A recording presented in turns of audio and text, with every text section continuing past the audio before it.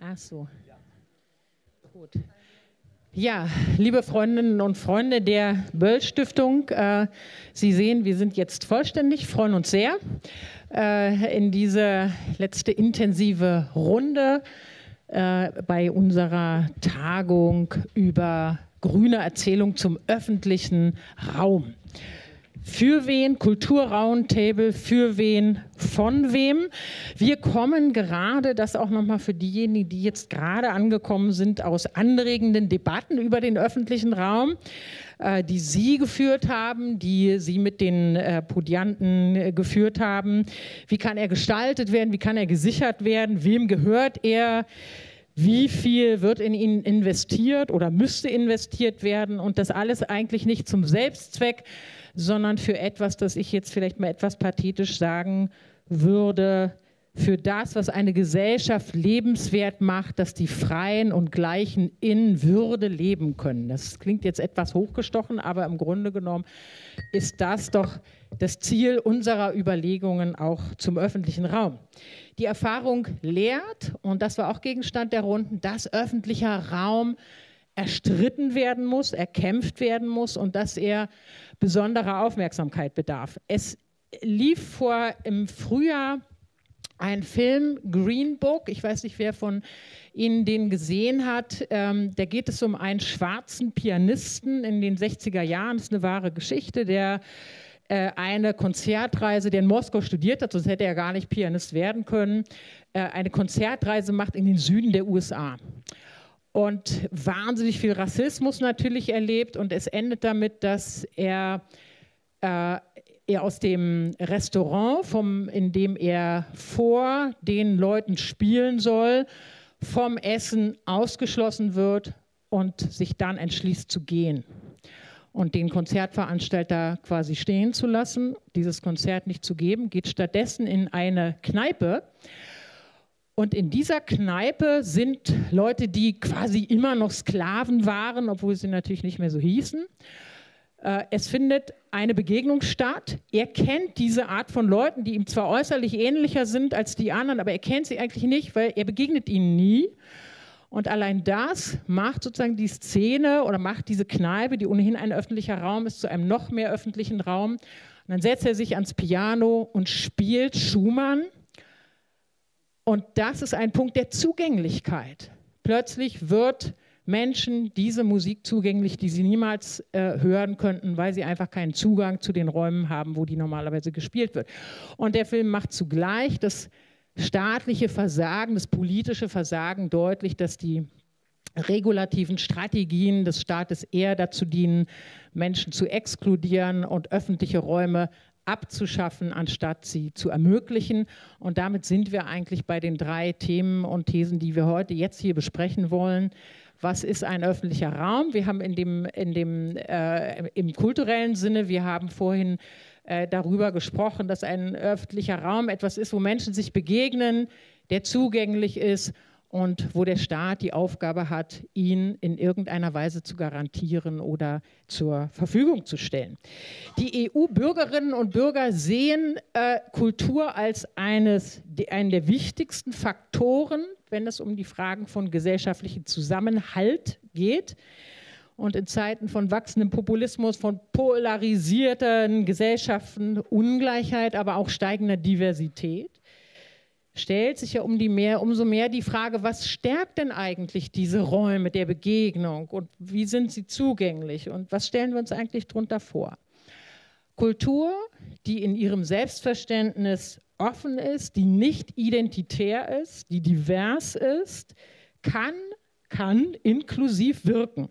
Sie findet Ausdrucksformen, und das ist das Besondere an Kultur, die uns voranbringen und die dazu beitragen, dass wir das werden, was wir sein könnten oder immerhin mal eine Vision davon, ein Bild davon entwickeln, wie könnte es eigentlich sein. Gegenseitiges Verständnis kann Kultur schaffen und etwas, was mir persönlich sehr wichtig ist, Gefühle der Zugehörigkeit fördern. Und das finde ich ist ein Schlüsselthema in einer hochemotionalisierten Debatte. Kultur kann viel, aber Kultureinrichtungen sind auch unter Druck. Demografischer Wandel ist zu nennen, das Stadt-Land-Gefälle ist zu nennen, in den urbanen Regionen auf der einen Seite Raumnot in mehrfacher äh, Dimension, ähm, Mietpreisdruck ähm, für vor allem für nicht so etablierte Kulturformen und Kulturräume und im ländlichen Raum genau umgedreht Landflucht führt dazu, dass weniger Menschen da sind, die Qualität sinkt, äh, die Finanzierung sinkt, die Auswahl schlecht ist. Und was als erstes geschlossen wird, sind in der Regel die Kultureinrichtungen. Manche erinnern sich vielleicht äh, an die Kulturpolitik in Sachsen-Anhalt äh, vor, ja, wann war das? Vielleicht so vor fünf Jahren. Zunehmende Heterogenität stellt Zugänglichkeit, stellt sehr grundsätzliche Herausforderungen an Zugänglichkeit. Für wen eigentlich? Anpassung an den digitalen Wandel ist als letztes sicherlich auch noch zu nennen. Es gab ja dazu auch eine Arbeitsgruppe gerade. Äh, kostet dann Geld, das nicht da ist, beziehungsweise mit Bodelschwing gesagt, das Geld ist zwar da, aber es ist nicht hier, also nicht hier im Kulturbetrieb, äh, wo es eigentlich sein müsste. Und zugleich schafft die digitale Welt Konkurrenz, die äh, auf eine ganz hybride Art Öffentlichkeit schafft, die stark durchkommerzialisiert ist. Darüber können wir ins Gespräch kommen. Aber zugleich erleben wir auch eine Renaissance von Kulturpolitik. Wir erleben, dass Kultur zum Austragungsort politischer Konflikte geworden ist. Rechtspopulistische Strömungen versuchen, ethnozentrische, kleingeistige Leitkulturen zu etablieren und im politischen Raum Druck auszuüben, äh, dass, das, dass das umgesetzt wird. Sie attackieren äh, sie attackieren den äh, in Anführungszeichen und von ihnen so äh, diffamierten, versifften Kulturbetrieb. Und niemand, glaube ich, ähm, der oder die ähm, in Kulturbetrieb tätig ist, kann sich dieser Hasskultur, die auch etabliert ist, entziehen. In anderen Ländern, das, dieser Blick sei noch genehmigt, wie Polen, äh, greifen rechtsnationale Regierungen tatsächlich in die Kunstfreiheit ein. Missliebige Museumsdirektoren werden ausgetauscht, Gelder gekürzt und so weiter. Renaissance der Kulturpolitik heißt aber auch, dass der Widerstand dagegen wächst, dass Kulturpolitikerinnen und Politiker sichtbarer werden, als sie das vielleicht in anderen Zeiten waren, dass sie sich darum bemühen, Räume offen zu halten und Natürlich bedeutet es auch, dass Künstlerinnen und Künstler selber ihre Aufgabe in dieser politischen Auseinandersetzung in einer Weise wahrnehmen, wie das, glaube ich, schon sehr lange nicht mehr der Fall war, äh, und äh, sich dem den Einengen von äh, oder dem Versuch der Einengung von Öffentlichkeit auch wirklich selbst zur Wehr setzen. Wir wollen über das alles reden mit vier ausgewiesenen Expertinnen und Experten für Kultur jede und jeder von Ihnen leitet eine Kulturinstitution. Das ist ja auch noch mal etwas anderes, beziehungsweise Herr Mohr ist seine eigene Kulturinstitution. Darauf werden wir noch zu sprechen kommen. Äh, das ist sozusagen das Besondere, aber faktisch äh, davon ganz abgesehen äh, äh ist er hier natürlich auch in der Doppelrolle als jemand, der sein Publikum sozusagen technisch vermittelt anspricht und damit äh, unglaubliche ähm, Menschenmengen äh, erreicht im Vergleich zum ähm, Theater. Katrin Röckler hat mich zu Recht darauf hingewiesen, dass kulturelle Räume natürlich sehr, sehr weit sind, dass man auch das natürlich äh, weit über Theater, äh, Hörspiele, äh, Filme äh, es hinausgeht. Auch Sport ist ein ästhetischer Raum, ein kultureller Raum. Vieles andere, Kirchen sind kulturelle Räume, gehören dazu. Es geht um Kunst, es geht um künstlerische Bildung und es geht um Geschichtskultur. Auch das ist ein Teil äh, der Kultur. Aber wie gesagt, wir wollen uns, äh, wir wollen das alles nicht ausschließen, aber wir konzentrieren uns natürlich auf die Perspektiven, die Sie hier äh, auf den Tisch legen. Ähm, die, äh, ich stelle sie jetzt nicht mit äh, äh, Geburtsdatum und Studienort und so weiter und Note im Abitur vor, sondern äh, das ist alles für Sie ja in den kleinen roten Heften. Ähm, ich habe gelesen, Frau Röckler, äh, genaue Stimmenlauscherin, kulturtheoretisch hochbewaffnete Angstforscherin. Das alles können wir wirklich sehr gut gebrauchen. Sie bewegen sich auf der Grenze zwischen Kunst, Mediologie äh, und Politik. Und Sie sind an der Akademie äh, die Nachfolgerin, oder? Von Klaus Steck? Ist es die Nachfolge direkt? Oder Sie sind Vize? Ich bin Vizepräsidentin. Genau. Und was machen Sie anders als Klaus Steck? Was wir anders machen, äh, mein Mikro erstmal äh, laut machen, ja genau. Ähm, ich habe darüber also nicht so groß nachgedacht. Der hat einfach einen, seinen eigenen Stil gehabt und seine, aber ich würde sagen, kulturpolitisch sind wir da eher in der Kontinuität zu sehen, gar nicht so sehr äh, jetzt, äh, dass wir, wir sind vielleicht, was ein großer Unterschied ist, dass wir äh, versuchen, wir sind ja so eine Doppelspitze mit Janine Meerapfel, dass wir versuchen, äh, äh, vielleicht nochmal ein bisschen partnerschaftlicher das aus, an, anzugehen. Also dieses Modell, ähm, äh, dass man eben nicht alleine Chef äh, ist, sondern äh, äh, miteinander im Gespräch etwas löst, ist vielleicht ein bisschen stärker. Das ist sicher als Unterschied sehen, aber äh, ja, also sonst machen wir da weiter an vielen Fragen, die er auch äh, zum Beispiel äh, ein Projekt, das er initiiert hat, was, äh, sagen, was uns sehr wichtig ist, ist in die Kunstwelten. Das ist ein Vermittlungsprogramm, wo wir ganz bewusst aus Berlin rausgehen und nach Köthen, nach Bitterfeld, nach äh, Anklam, nach, also nach Chemnitz äh, äh, Programme machen, aber auch hier in Flüchtlingsunterkünften äh, äh, arbeiten mit Künstlern, die wir dafür holen, beziehungsweise ja, das ist. Auf die Frage kommen wir auf jeden Fall zurück, der Zugänglichkeit. Äh, für wen eigentlich? Ähm, Frau Langhoff, wenn ich Sie jetzt vorstelle und sage, äh, ich begrüße Shermin Langhoff, die Intendantin des Deutschen Theaters, würden Sie mir dann widersprechen?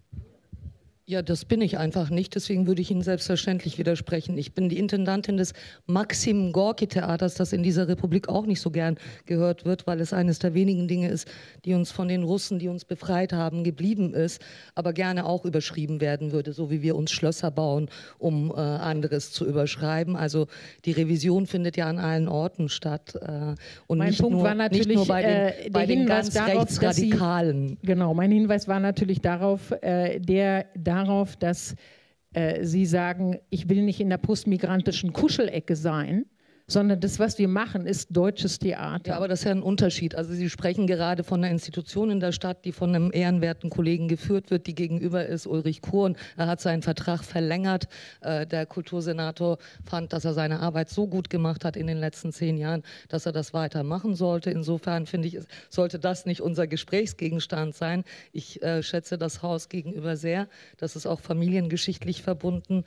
Menschen, die äh, genau wegen Faschisten, die es hier hier vor Jahrzehnten gab, äh, nicht nur äh, ihren Beruf, sondern tatsächlich zum Teil ihre Existenz lassen mussten. Insofern würde ich gar nicht auf diesen Ebenen von, äh, das spielt vielleicht dann in Interviews eine Rolle oder so, sprechen wollen, aber vielleicht antworten damit, äh, was wir als Maxim Gorki Theater in der Situation, die Sie beschrieben haben, zu Recht in den Auseinandersetzungen versuchen zu tun. Äh, zum einen genau diesen Namen zu behalten, ähm, zum anderen, auch wenn es Grund genug gäbe, natürlich, also es ist nicht so, dass wir nur Fans von Gorki sind, wir sind Künstler, wir sind sehr dialektisch, wir wissen sozusagen mit der Stalin-Nähe und anderem entsprechend kritisch umzugehen. Aber ich glaube, es ist wichtig sozusagen, und da spielt Geschichte immer eine Rolle, wenn wir heute Geschichten erzählen. Äh, insofern kann man das gar nicht äh, ohne Geschichte denken, gerade wenn man erneuern und weiterdenken will. Ich würde gern auf einen Nebensatz, den ich sehr wichtig fand, ähm, von Ihnen eingehen, äh, wo Sie sagten, wir sollten ähm, äh, werden, was wir werden könnten. Ich sage, wir sollten werden, was wir sind. Ich erlebe im Moment in diesem Land eine Kulturlosigkeit, die ich mir niemals vorstellen konnte. Nämlich, dass fünf bis sechs Millionen Menschen, die hier leben, zum Teil seit Jahrzehnten, in Frage gestellt werden, ob, ob sie die Berechtigung haben, hier zu leben, hier zu sein. Das ist die Kulturlosigkeit, vor der ich mich gerade in dieser Republik sehe. Und ich glaube, dass das tatsächlich ein ganz wichtiger Faktor ist. Ich habe hier vor wenigen Wochen eine Veranstaltung erlebt, die mich wahnsinnig empowert hat. Das war 30 Jahre Geburtstagsfeier für Kimberly Crenshaws äh, Theorie der äh, intersektionalen Gerechtigkeit. Und ich muss Ihnen sagen, wir machen sehr viel Nicht erst am Gorki, wir haben auch am Ballhaus. Es gibt auch andere Kollegen, die einiges machen. Ich muss nur beschreiben aus meiner Perspektive, wir versuchen seit 15 Jahren neue Geschichten, die gar nicht so neu waren, aber eben in den Theatern, in den Tempeln dieser Republik nicht so vorhanden. Seit 15 Jahren versuche ich diese Geschichten ins in den deutschsprachigen Kanon ins Theater einzubringen. Mhm. In diesen 15 Jahren ist aber weder die doppelte Staatsbürgerschaft, noch das kommunale Wahlrecht, noch ein Einwanderungsgesetz, das diesen Namen verdient in dieser Republik, weder von Grün, noch von Links, noch von SPD, noch von CDU gestaltet worden. Ja, gut, das Grün hat auch gar nicht Realität. regiert, von daher ging das auch nicht. Ähm, genau. Das wird sich ja vielleicht ja, 2001 ändern. 2001 waren sie noch zusammen. Es sind gar keine Vorwürfe. Ich möchte ja. nur sagen, ich glaube, wir sind immer wieder versucht, sozusagen über die Kultur Dinge zu lösen oder über die Kultur äh, die Kultur als Instrument zu, zu, begreifen. Deswegen ist, glaube ich, sehr wichtig, dass wir uns unseres Kontextes und unserer Geschichte bewusst sind, wenn wir über öffentlichen Raum sprechen und dass wir auch uns einmal anschauen, wer wir hier sind, wie wir hier sitzen, äh, wie Partizipation gelingt in diesem Raum immer wieder. Deswegen habe ich dieses wunderbare Erleben vor wenigen Wochen äh, hier geschildert. Ich glaube, äh, das ist tatsächlich der Punkt. Also an welchem Punkt stehen wir, von welchem Punkt gehen wir aus? Und mhm. den würde ich radikaler beschreiben, äh, als Sie das tun. Das sind nicht nur ein paar Angriffe von ja. rechts auf Theater ja. äh, oder dergleichen, sondern wir haben gerade tatsächlich äh, mit dem Versuch einer Kulturrevolution, aber von einer Seite, Seite, die wir uns vielleicht nicht äh, wir kommen wünschen. Darauf, wir kommen darauf noch zurück. Ähm, ich würde jetzt gerne nochmal zu Oliver Reese weitergehen, der seit 17, 18, Spielsaison 17, 18 Intendant des äh, Berliner Theaters ist, vorher in äh, Frankfurt des war. Berliner Entschuldigung, des Berliner Ensembles. Erzählt, ne? Des Berliner Ensembles, Entschuldigung. Ähm, äh, und Brecht-Tradition ganz starker Fokus auf äh, der sozialen Thematik, also siehe äh, Mutter Courage. Spielt das, wie, wie, wie eignen Sie sich das an? Ist das, ein, ist das etwas, was prävalent ist oder sagen Sie, es ist auch eine Tradition des Hauses oder ist das Soziale auch etwas, was Sie in einen Anspruch übersetzen? Absolut. Also äh, ich denke, man sollte nicht ans Berliner Ensemble gegangen sein, wenn man damit nichts anfangen könnte. Äh, wir spielen nicht nur Brecht äh, jedes Jahr in sehr unterschiedlicher Sicht von Regisseuren. Thalheimer, Frank Kastorf, jetzt als nächstes Ersan Montag, der auch bei Schermin gearbeitet hat, aber sondern. Was sagst du? Immer noch arbeiten. Ja, ja, na klar, aber bislang schon gearbeitet hat, bei uns auch gearbeitet hat, sondern wir äh, gestalten das Berliner Ensemble sehr viel stärker als in den äh, zwei Jahrzehnten davor, als ein Theater mit extrem viel Gegenwart. Also äh, zwei Drittel der Autoren, die wir spielen, leben noch zum Glück und wir haben sehr viele Stücke gemacht, entwickelt, ähm, die mit sozialen Themen zu tun haben. Jetzt gerade ein Stück über Brennpunkte in Neukölln, das heißt Amir, ein Stück über Obdachlose, die auf der Straße leben, ein Stück über den Drogenkonsum, den Benjamin von Stuckrad-Barre an sich selber erlebt hat und pointiert hat äh, und viele, viele andere Themen mehr. Also ja, ich finde, das Berliner Ensemble muss in der Tradition von Brecht, übrigens nicht nur von ihm, denn auch als es gegründet wurde, wurden da die Weber-Uhr aufgeführt, Stücke von der Fleißer-Uhr aufgeführt. Meiner Ansicht nach war das eigentlich im Kern immer ein Autoren- und ein politisches Theater und nicht ein Klassiker-Wohlfühlhaus. Gut. Äh, Klassiker und Wohlfühlen. Äh, Herr Mohr, sind wir beim deutschen Fernsehen äh, oder so? Äh, Sie sind, Sie sind äh, Fernsehmoderator, Sie sind Biobauer, wie ich jetzt verstanden habe, nicht Ex-Biobauer, sondern Biobauer. Ähm, jetzt glaube ich, also wenn man die, die Statistiken, die demografischen Statistiken anguckt, dann äh, sieht man, dass die Mehrheit der Fernsehzuschauenden äh, Ü60 ist. Äh, und gleichzeitig ist es so, dass ein signifikanter Anteil der U60 Grüne wählt. Ist es für Sie ist es ein Zusammen äh, haben Sie das schon mal zusammen gedacht oder ist das für Sie auch ein Problem? Als Biobauer, als jemand, der auch diese äh, Lebensstildebatte im Fernsehen führt, äh, darüber nachzudenken? Ich verstehe nicht mal die Frage, Entschuldigung. Hab, haben Sie sie verstanden? Ähm, der Zusammenhang um von diese Grünen und geht's um Kulturprogramm im Fernsehen, es- jung und alt und Gibt was es soll demografische, gibt es eine bestimmte demografische äh, Ausrichtung Ihrer Arbeit? Denken Sie darüber nach, wenn Sie an Nein, Ihr ich denke Publikum überhaupt nicht denken? darüber nach, wer mir zuguckt. Also wer, wer jetzt TTT guckt oder nicht guckt, das äh, empfehle ich auch meinen Kolleginnen und Kollegen sehr stark, nicht darüber nachzudenken. Ich hasse diese Diskussion. Äh, der Zuschauer ist hier überfordert, der Zuschauer will das, der Zuschauer will jenes, sondern ich, ich denke, Kulturvermittlung stimmt dann, wenn, wenn man das vermittelt, was man selber gut findet oder selber dazu stehen kann, in einer Art und Weise, die man selber gut findet, zu der man stehen kann. Das gilt für alle Kulturinstitutionen, auch für jene, die die Kultur nur abbilden, wie wir jetzt vom Fernsehen. Also wir gucken halt, was da ist. Aber wenn wir jetzt uns danach ausrichten würden, wenden wir uns als Stadt, wenden wir uns Land, an Frauen, an Männer. Ich glaube auch nicht, dass ich glaube nicht an diese ganzen Statistiken. Ich glaube auch nicht an Einschaltquoten. Deswegen gucke ich mir das tatsächlich nicht an und bin ein bisschen äh, bin, Sie tun mir leid, Sie müssen Zuschauerzahlen permanent begründen. Es muss immer begründet werden, ob es auch ein Erfolg ist oder nicht. Ähm, sondern es, ich finde es wunderbar, dass es, dass es das öffentlich-rechtliche Fernsehen gibt, wo es diese Programme geben darf und wo man eben nicht permanent äh, guckt. Natürlich die Herren Programmplaner schon, aber wir gucken da echt nicht drauf und, und äh, ich versuche mir diese Freiheit auch wirklich zu bewahren. Also Sie lassen sich nicht von der schon vorhandenen äh, Quotendiskussion im Fernsehen beeindrucken, sondern sagen, es ist ein öffentliches Gut und äh, es ist ja auch diskutiert worden und es gibt durch die Entscheidung in der Schweiz äh, ja auch den Nachweis, dass die Menschen das gut finden, dass es dieses öffentliche Gut Ja, die gibt. Menschen sind ja klüger, als, als wir meinen. Also ich habe oft Diskussionen mit, äh, mit Kollegen, die dann sagen, naja, also unser Zuschauer ist ja gebildet und so. Und äh, ich, ich bin natürlich als Aushängeschild dieser, dieser Teamleistung, es sind ja 60 Leute, die an diesem Programm arbeiten, allein für TTT. Jetzt denken Sie wieder, was, dafür zahle ich Gebühren? Es braucht einfach so viele, weil es relativ schwierig ist, äh, solche Sendungen zu machen. Ähm, die, die sind halt in ihren Redaktionsstuben und tauschen sich untereinander aus und, und, und sitzen oft in so Gesprächsrunden wie hier, während ich äh, halt erkannt werde als der, der TTT macht, einfach weil ich halt diese, das ähnliche Gesicht habe wie der Typ im Fernsehen. Und dann, und dann, äh, dann merke ich, das sind gerade nicht die Professoren, das sind gerade nicht die Galeriebetreiber, weil die sind ja viel zu wichtig, überhaupt den Fernseher noch einzuschalten.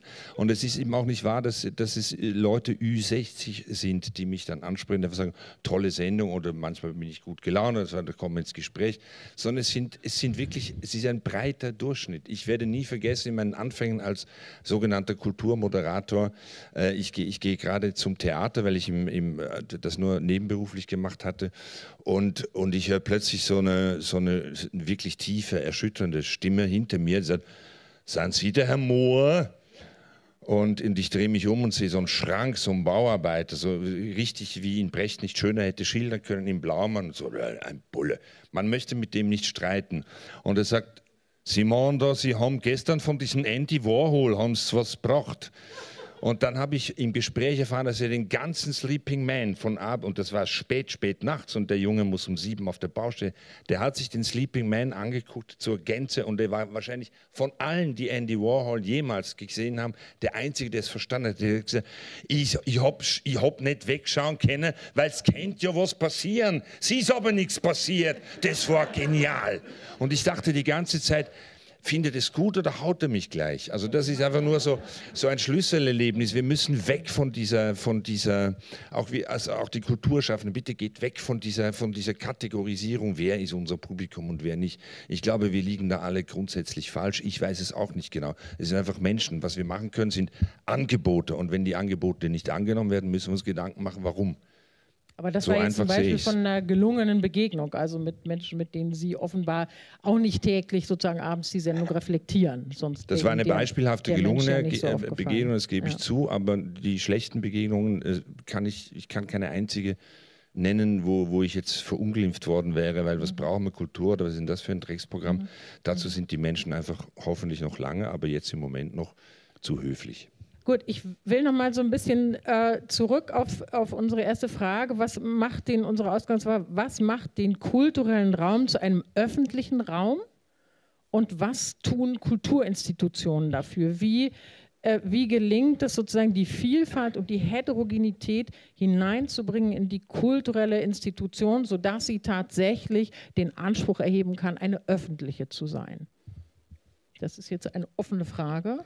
Frau Langhoff gerne. Vielleicht kann Frau ich das Rögler. verbinden mit einer kurzen Reaktion. Also äh, auf der einen Seite bewundernswert und beneidenswert, wenn es tatsächliche Autonomie gibt. Ich glaube nicht daran, weil ich habe auch beim Fernsehen gearbeitet und es gibt eben dann doch die Redaktionen, die über Quoten Entscheidungen treffen und gegeben Kino Kino, das habe ich jahrelang äh, produziert und wir waren mal eine Dreiviertelstunde, äh, zwei Sendungen vom Festival. Man konnte genau eben auch die politischen Filme, die avantgardistischen Filme, die Nebenreihen, die jüngeren Filme besprechen. Und mittlerweile gibt es das überhaupt noch? Es gibt es gar nicht mehr. Es wurde eben genau über Quoten.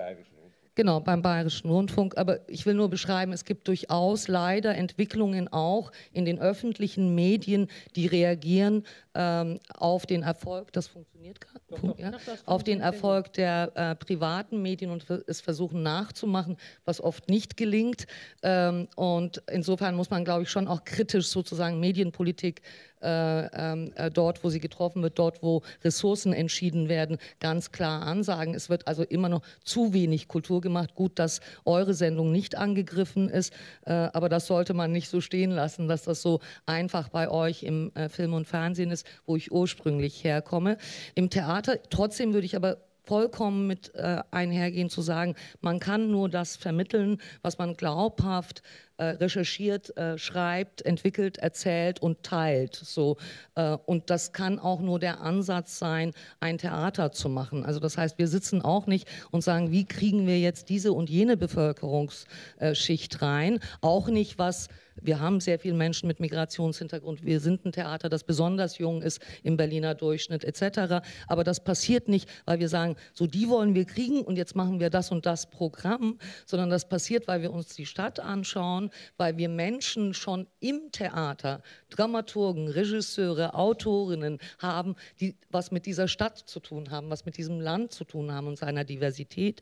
Und die gestalten ein Programm, das aus ihnen, aus ihrem politischen, ästhetischen Interesse kommt und dann wundert man sich, da haben so viele Identifikationsmomente da draußen in der Stadt mit, dass sie kommen und in der ja. Diversität kommen, in der sie ja. sind. Also oft wird nämlich genau das in der Politik leider anders aufgezogen und dann wird Institutionen irgendwelche Quoten oder Statistiken vorgegeben. Darum geht es nicht, aber es geht um eine sehr klare Förderung davon, mhm. dass nicht mhm. nur weiße deutsche Männer Theaterintendanten sind, dass nicht nur, also es geht wirklich darum, dass wir in Dramaturgien, in, in Intendanzen, in Redaktionen, an den Stellen, wo Entscheidungen getroffen werden, wo Ressourcen verteilt wird, eine politische äh, äh, Zugänge bieten äh, und nicht nur in den Kneipen, in denen dann Schumann den armen Schwarzen, die das bis dahin nicht hören konnten, vermittelt werden kann endlich. Ja 60ern. Trotzdem zu der Frage äh, öffentlicher Raum Aha. und das finde ich ist eben mehr als der eigene Theaterraum. Also das heißt, wir machen mittlerweile 30 Prozent unserer Arbeit ist nicht mehr Repertoire-Theater auf der Bühne inszenieren. Also das, was Oliver beschrieben beschrieben hat, was wir natürlich auch machen, Thematiken, äh, die äh, die Gesellschaft betreffen, gesellschaftsrelevant sind, äh, zu erzählen. Das ist immer noch 70 Prozent, aber 30 Prozent unserer Arbeit am Gorki ist zum einen außen Bespielung tatsächlich, was wir gerne noch mehr machen würden. Also ganz konkret, wir stehen mit 50 Berlinerinnen und haben ein Libretto des Grundgesetzes, das wir am Brandenburger Tor am 3. Oktober machen und äh, am 24. Mai äh, äh, am Bundesverfassungsgericht. Wir machen einen Herbstsalon, mit dem wir in die gesamte Stadt gehen, der Eintritt frei ist.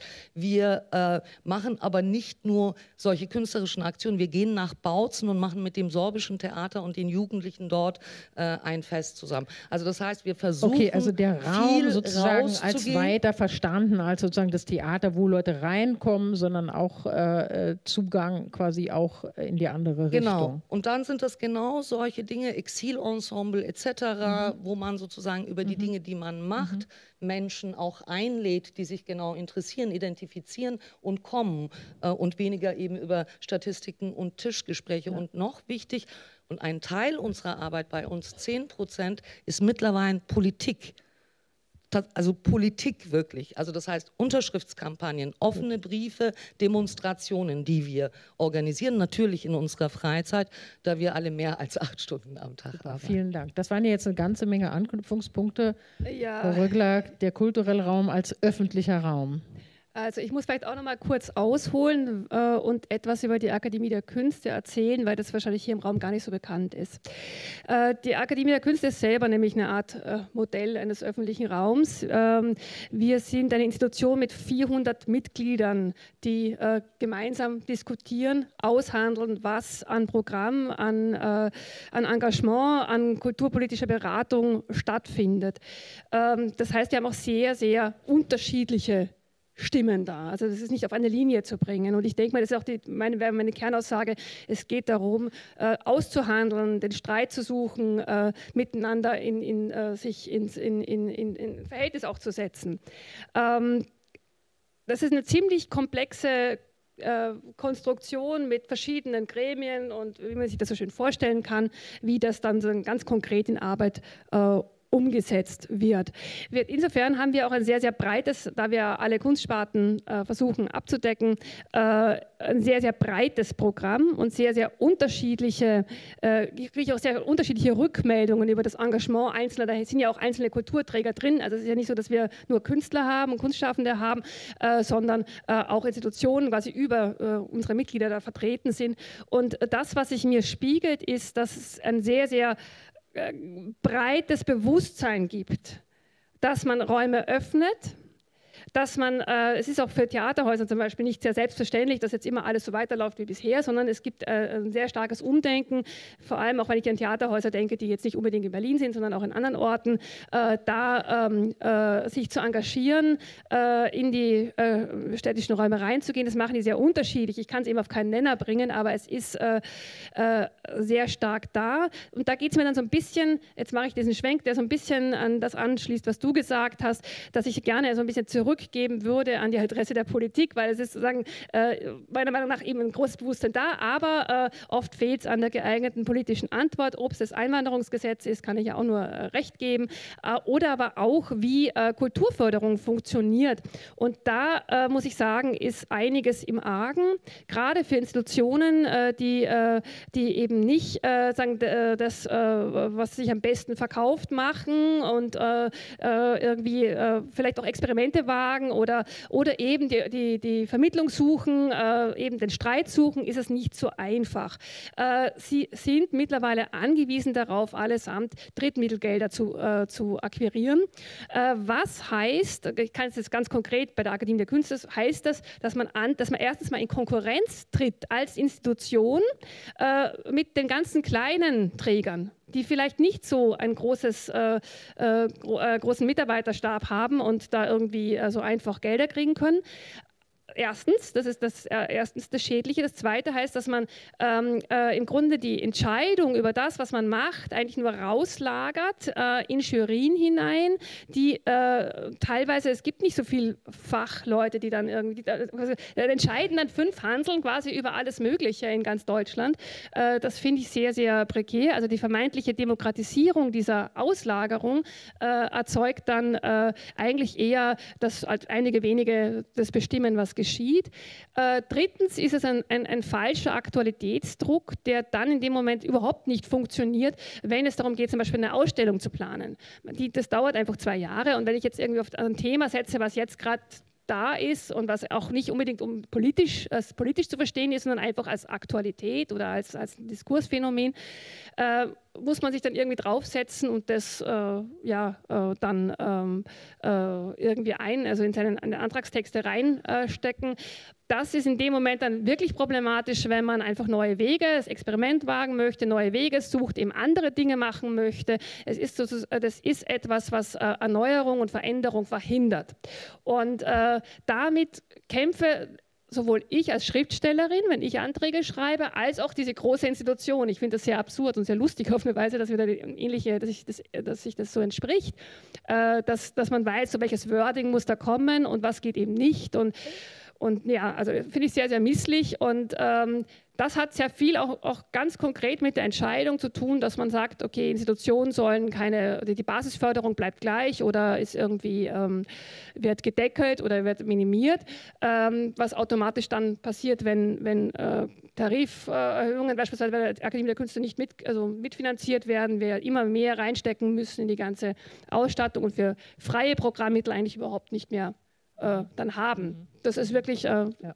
Ja. Also um das mal jetzt so ein bisschen, äh, ich muss es konkret machen, weil genau. es einfach sonst sehr, ich sehr gut. Ich würde nur gerne die Frage der Kulturförderung und was, was müsste da gemacht werden, würde ich gerne nochmal verschieben und nochmal bleiben bei dieser Frage, was sichert eigentlich den, äh, sozusagen die Öffentlichkeit der Kulturinstitutionen und ich fand, äh, Herr Rehse ist sofort dran, ich fand diesen Punkt von, von Frau Langhoff zu sagen, ja, wir gehen auch raus aus dem Theater, wir, wir machen sozusagen öffentlichen Raum im doppelten Sinn, also wir sind ein öffentlicher Raum und wir nutzen öffentliche Räume, weil wir sehen, so schaffen wir nicht den Zugang zu den in der Breite, wie Sie, Herr Mohr, das sozusagen idealtypisch äh, beschrieben haben vom, vom Fernsehen. Äh, Herr Rehse, Sie sind auch in eine ähnliche Richtung unterwegs. Nein, ich würde Ihnen, äh, ich glaube, wir, ehrlich gesagt, wir Kulturinstitutionen machen das alle relativ gut im Moment. Ja? Und ich will jetzt auch gar nicht sagen, was ich so schön mache, sondern ich möchte den Spieß eigentlich umdrehen. Wir sind ja hier an einem Ort einer parteinahen Stiftung. Wir sind also im Bereich der Politik quasi. Und äh, was ich wirklich richtig schlimm finde in Deutschland, ist, dass ich das Gefühl habe, dass das, was wir tun, und wir, glaube ich, in vielen Einrichtungen äh, machen wir nicht mehr Wohlfühlkultur, sondern wir äh, machen an ganz vielen Orten in der Provinz, in der Hauptstadt, in den Stadttheatern, in der bildenden Kunst engagierte politische äh, Kunst, die sich mit gesellschaftlich relevanten Themen auseinandersetzt. Aber wer außerhalb unserer Nische nimmt es eigentlich so wahr, dass es in einen Kontext äh, überführt wird. Wann habe ich zuletzt bei einem Politiker in einer Rede gehört, habe ich doch neulich diesen Roman von Robert Menasse gelesen, habe ich doch neulich dieses Bild gesehen, es hat mich erschüttert. Äh, wo spielt das eigentlich eine Rolle außerhalb von unserem Kulturkontext und außerhalb von denjenigen, die sowieso schon unser Publikum sind? Warum gibt es eigentlich in den Nachrichten quasi nie eine Nachricht folgender wichtiger Schriftsteller hat gerade eine, einen neuen Roman geschrieben. Folgende bildende Künstlerin hat eine äh, grandiose Skulptur im öffentlichen Raum aufgestellt. Folgender Preis wurde gerade vergeben, außer einmal alle vier Jahre, wenn der ja, der mal, der Büchnerpreis, mal der Nobelpreis. Aber ich meine, die, Blö die, die, Unfälle kommen ständig in den Nachrichten vor, obwohl sie überhaupt nicht relevant sind, außer für die armen Menschen, die sie betrifft. Aber Kultur, die total relevant sein könnte, findet nicht statt, außer eben in den, äh, äh in den Nischen. Und das, glaube ich, können nicht wir Kulturleute alleine ändern. Ja, ich habe acht Jahre Stadttheater gemacht in Frankfurt. Wir haben an 25 Orten in der Stadt gespielt. Na klar will man rausgehen. Na klar äh, macht man politische Reihen. Dani Kuhn-Bendit hat eine eigene Gesprächsreihe bei uns gehabt. Ähm, äh, wir haben alle möglichen Thementage gemacht zu den unterschiedlichsten Dingen. Drei Tage lang, Wochenenden in Frankfurt. Aber wo wird es denn ernst genommen? bei denen, die nicht sowieso schon Freaks sind, weil sie in unserer Szene arbeiten. Und das ist meine Frage in eurem Kontext hier. Ja, aber wird es besser, wenn äh, es waren ja mehrere andere Bereiche angesprochen, ist ja interessant, nicht? Also wie, äh, wenn das ein öffentlicher Raum ist, spielt es, welche Rolle spielt es in der Kultur? Ähm, äh, Quatsch, in der Politik, also welche Rolle spielt Kultur in der Politik, aber auch in den Medien. Also die Politik bestimmt ja nicht, worüber in den Medien berichtet wird oder nicht berichtet Doch, wird. Doch, könnte sie. Wenn, wenn die Politik ähm, das selber zum Thema machen würde, würde es auch von den Medien aufgegriffen. Ja, aber nicht alles, was von Medien aufgegriffen wird, äh, wird in der Politik diskutiert. Das wäre ja auch schlimm. Also Medien haben ja auch gegenüber der ähm, gegenüber der Politik ein kritisches äh, Mandat. Also insofern, äh, ich will einfach nochmal so ein bisschen zurück, was äh, auf die Frage, es ist immer leicht zu sagen, die und die sind schuld. Also ähm, äh, was ist sozusagen vielleicht die, die Aufgabe oder wo, wo liegt der Dreh? Ich sehe das auch so, ich könnte jetzt locker einstimmen ja, und sagen, ja genau, äh, ganz schlimm und so. Und äh, die, diese, die, die, die, Prädominanz von Wirtschaftsdaten und Finanz- und, und DAX-Werten im, im Radio ist völlig völlig unangemessen, weil die meisten Leute haben gar keine Aktien. Äh, aber ich würde ganz gerne nochmal zurück äh, so auf die Frage, was, was können Kultureinrichtungen, die ja so oder so, sie, ob es jetzt ausreicht oder nicht, aber finanziert werden und Gegenstand öffentlicher Finanzierung sind, wo liegt die eigene Verantwortung, so den kulturellen Raum als öffentlichen zu präsentieren, die Vielfalt. Ich fand, ich fand einen interessanten Punkt, Frau Langhoff, den Sie gemacht haben, ähm, wie spielt sich eigentlich die Vielfalt in meinem Ensemble, in meinem Haus ab? Und das, da kommt dies zu diesem Thema der Glaubwürdigkeit. Das scheint mir ein Schlüssel sozusagen auch für die Wirkung des Gorki zu sein, dass Sie sagen, ähm, das, was ich nach außen repräsentieren möchte, das leben wir auch im Innern. Kann sein, dass es viel anstrengender ist als sozusagen im normalen Kulturbetrieb, ähm, aber wir machen das, weil wir auch in uns diesen Zumutungen aussetzen, der, der Vielfalt. Das würde mich auch, Herr Rehse, nochmal interessieren. Wie ist das am BE? Also wie, wie, wie ist da, das macht das, das Kulturbüro oder äh, nur die Vermittlung sozusagen der, der Zuteilung der Schauspielerinnen und Schauspieler oder gibt es diese, äh, diese Art der Demokratie, sag ich mal, ja, und der Öffentlichkeit auch innerhalb des Hauses, die dann mit einer entsprechenden Ausstrahlung äh, ihr Publikum und auch ihre Aufmerksamkeit gewinnt? Vielleicht noch etwas, wenn ich darf, etwas grundsätzlicher. Nicht nur die Frage von, wie vermitteln wir was oder wer macht da was genau, sondern die Frage, ist das eigentlich messbar in Anführungsstrichen, der Nutzen, der Wert, das Ereignis, das Kultur auslöst. Mein Frankfurter Kollege, der Opernintendant, hat mir erzählt, wie er oben in der Wohnung war sein depressiver Vater und er als Kind saß unten im Auto und hörte im Autoradio Opern. Und das hat ihn dazu gebracht, Intendant zu werden und ein Leben lang jeden Abend in dem Theater zu sitzen, jeden Abend eine Oper zu hören. Das werden Sie, wenn Sie diese Geschichte nicht erzählt bekommen, werden Sie das niemals erfahren. Das wird keine Statistik messen, was das bedeutet. Ich komme aus Paderborn und meine Eltern hatten einen Autozubehörgroßhandel und äh, haben mich sehr gefördert, aber hatten mit Kultur überhaupt nichts am Hut. Und das kleine Theater, das es in Paderborn gab, das kleinste deutsche Stadttheater, die Westfälischen Kammerspiele, waren für mich mit 13, 14, 15 ein Lebensretter. Und ich wusste damals, dass ich das machen will, was ich heute mache. Das habe ich 35 Jahre lang bis jetzt gemacht. Das kriegen, ich weiß nicht, wo wir das, wo wir das messen können, wo wir das ablesen können. Bei Bildung, es wird ja immer Bildung gegen Kultur ausgespielt. Meiner Ansicht nach sitzt die Kultur immer am kleineren Hebel und die Bildung immer am längeren. Und das finde ich super doof. Es gibt auch wahnsinnig viele Stiftungen, die Bildung fördern und sehr viel weniger die Kultur fördern. Und ähm, das ist so, wie soll ich sagen, das ist mal mein Grundimpuls, zu sagen, das, was wir tun, ist epochal wichtig für den einzelnen äh, Menschen, der Kultur erlebt, konsumiert. Und dann können wir uns, wenn wir das mal begriffen haben, können wir uns fragen, wie gehen wir damit um und was machen wir eigentlich und warum hat das nicht mehr Bedeutung? Äh, ich bin jetzt ganz verblüfft dass sie auf der einen Seite, dass sie, du hast wahrscheinlich eine andere Verblüffung, Shermin, als ich. Ähm, darf ich meine sagen? Nämlich, dass Sie vorhin, äh, wie, wie viele Menschen im Theater und im Kulturbetrieb sagen, wir hassen diese Wohlfühl, wir machen kein Wohlfühltheater, wir machen kein Wohlfühl, ich mache keine Wohlfühlskulptur, diese Wohlfühlmusik. Und auf der anderen Seite haben Sie zwei Beispiele gebracht, wo es genau darum ging, dass die Menschen doch sich die Menschen in der Kultur wohlfühlen. Sie sagen, um Sie sagen, Erschütterung. Sie sagen, das war ihr Lebensretter. Sie sind in einem Umfeld ausgehört, das, das sehr schön war und ihre Eltern waren toll, aber wenig Kultur. Ihnen hat es das Leben gerettet. Dramatischer kann man sich formulieren. Sie schildern die Situation von einem Jungen, der den depressiven Großvater oben hat und sich wohlfühlt, indem er diese Opernmusik hört. Die rettet ihm das Leben.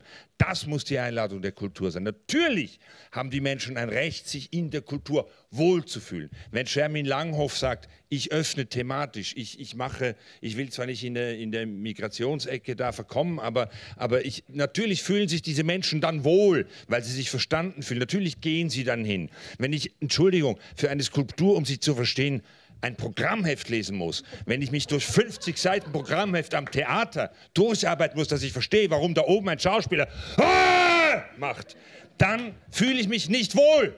Und ich plädiere für eine Kultur, in der ich mich wohlfühle. Und wenn ich, wenn ich sie überzeugen möchte für meine Idee, dann gucke ich, dann sage ich, komm zu mir aufs Land. Du hast eine schöne Aussicht, ich gebe dir Rindfleisch, wie du es noch nie gegessen hast. Du wirst sogar als Veganer überzeugt sein. Dann fühlst du, irgendwann fühlst du dich wohl und dann habe ich dich. Und dann können wir anfangen, uns auseinanderzusetzen miteinander. Aber dieses ewige, das, das, dieses vermaledeite Regietheater, diese vermaledeite Miss van der Rohe Architektur, die sagt, es geht ums Drama, es, der Mensch darf sich nicht wohlfühlen, es geht um, es geht um, was haben Sie gesagt? Es geht um Erschütterung. Nein, ich will nicht erschüttern. Kultur ist immer schon dazu da gewesen, Welten zu kreieren, die wir uns wünschen. Deswegen finde ich es gar nicht so schlecht, wie schaffen wir es, die zu werden, die wir gerne wären. Niemand will ein Faschist sein, niemand will Menschen quälen, niemand will seine Frau schlagen, niemand will das. Ich bin überzeugt, dass der Mensch nicht so geboren ist.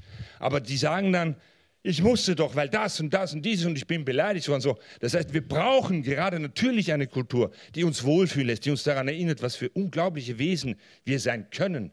Dass wir eine Empathie haben, wie Shermin Langhoff sagt, dass wir, dass wir Engagement haben, dass wir unglaubliche kreative Leistungen vollbringen können und dass andere Menschen die sogar sehen können. Natürlich, das braucht Wohlfühl eine Grundstimmung des Wohlfühlens. Ihr von der Kultur sollt mir nicht sagen, wie beschissen die Welt ist. Das weiß ich selber. Ich sehe es jeden Tag. Ich gehe in die Stadt. Es stinkt hier. Es ist hässlich hier. Ich weiß das.